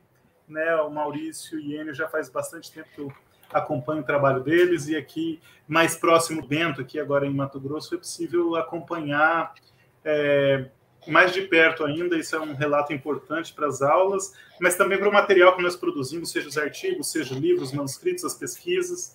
Então, essa é uma, é uma das nossas preocupações. É, e, e, e aí estamos tentando contribuir com os documentos da Bracopel. Então, fico muito feliz por esse convite, pela confiança do, Ed, do Edson aí, né, de nos chamar para fazer essa, essa, essa, essa pesquisa, de apoiar a condução dela como um todo e, e, repetir que a ideia dessa pesquisa veio dele, né? Então, então por isso ele é o primeiro autor e está sempre nessa, nessa militância aí.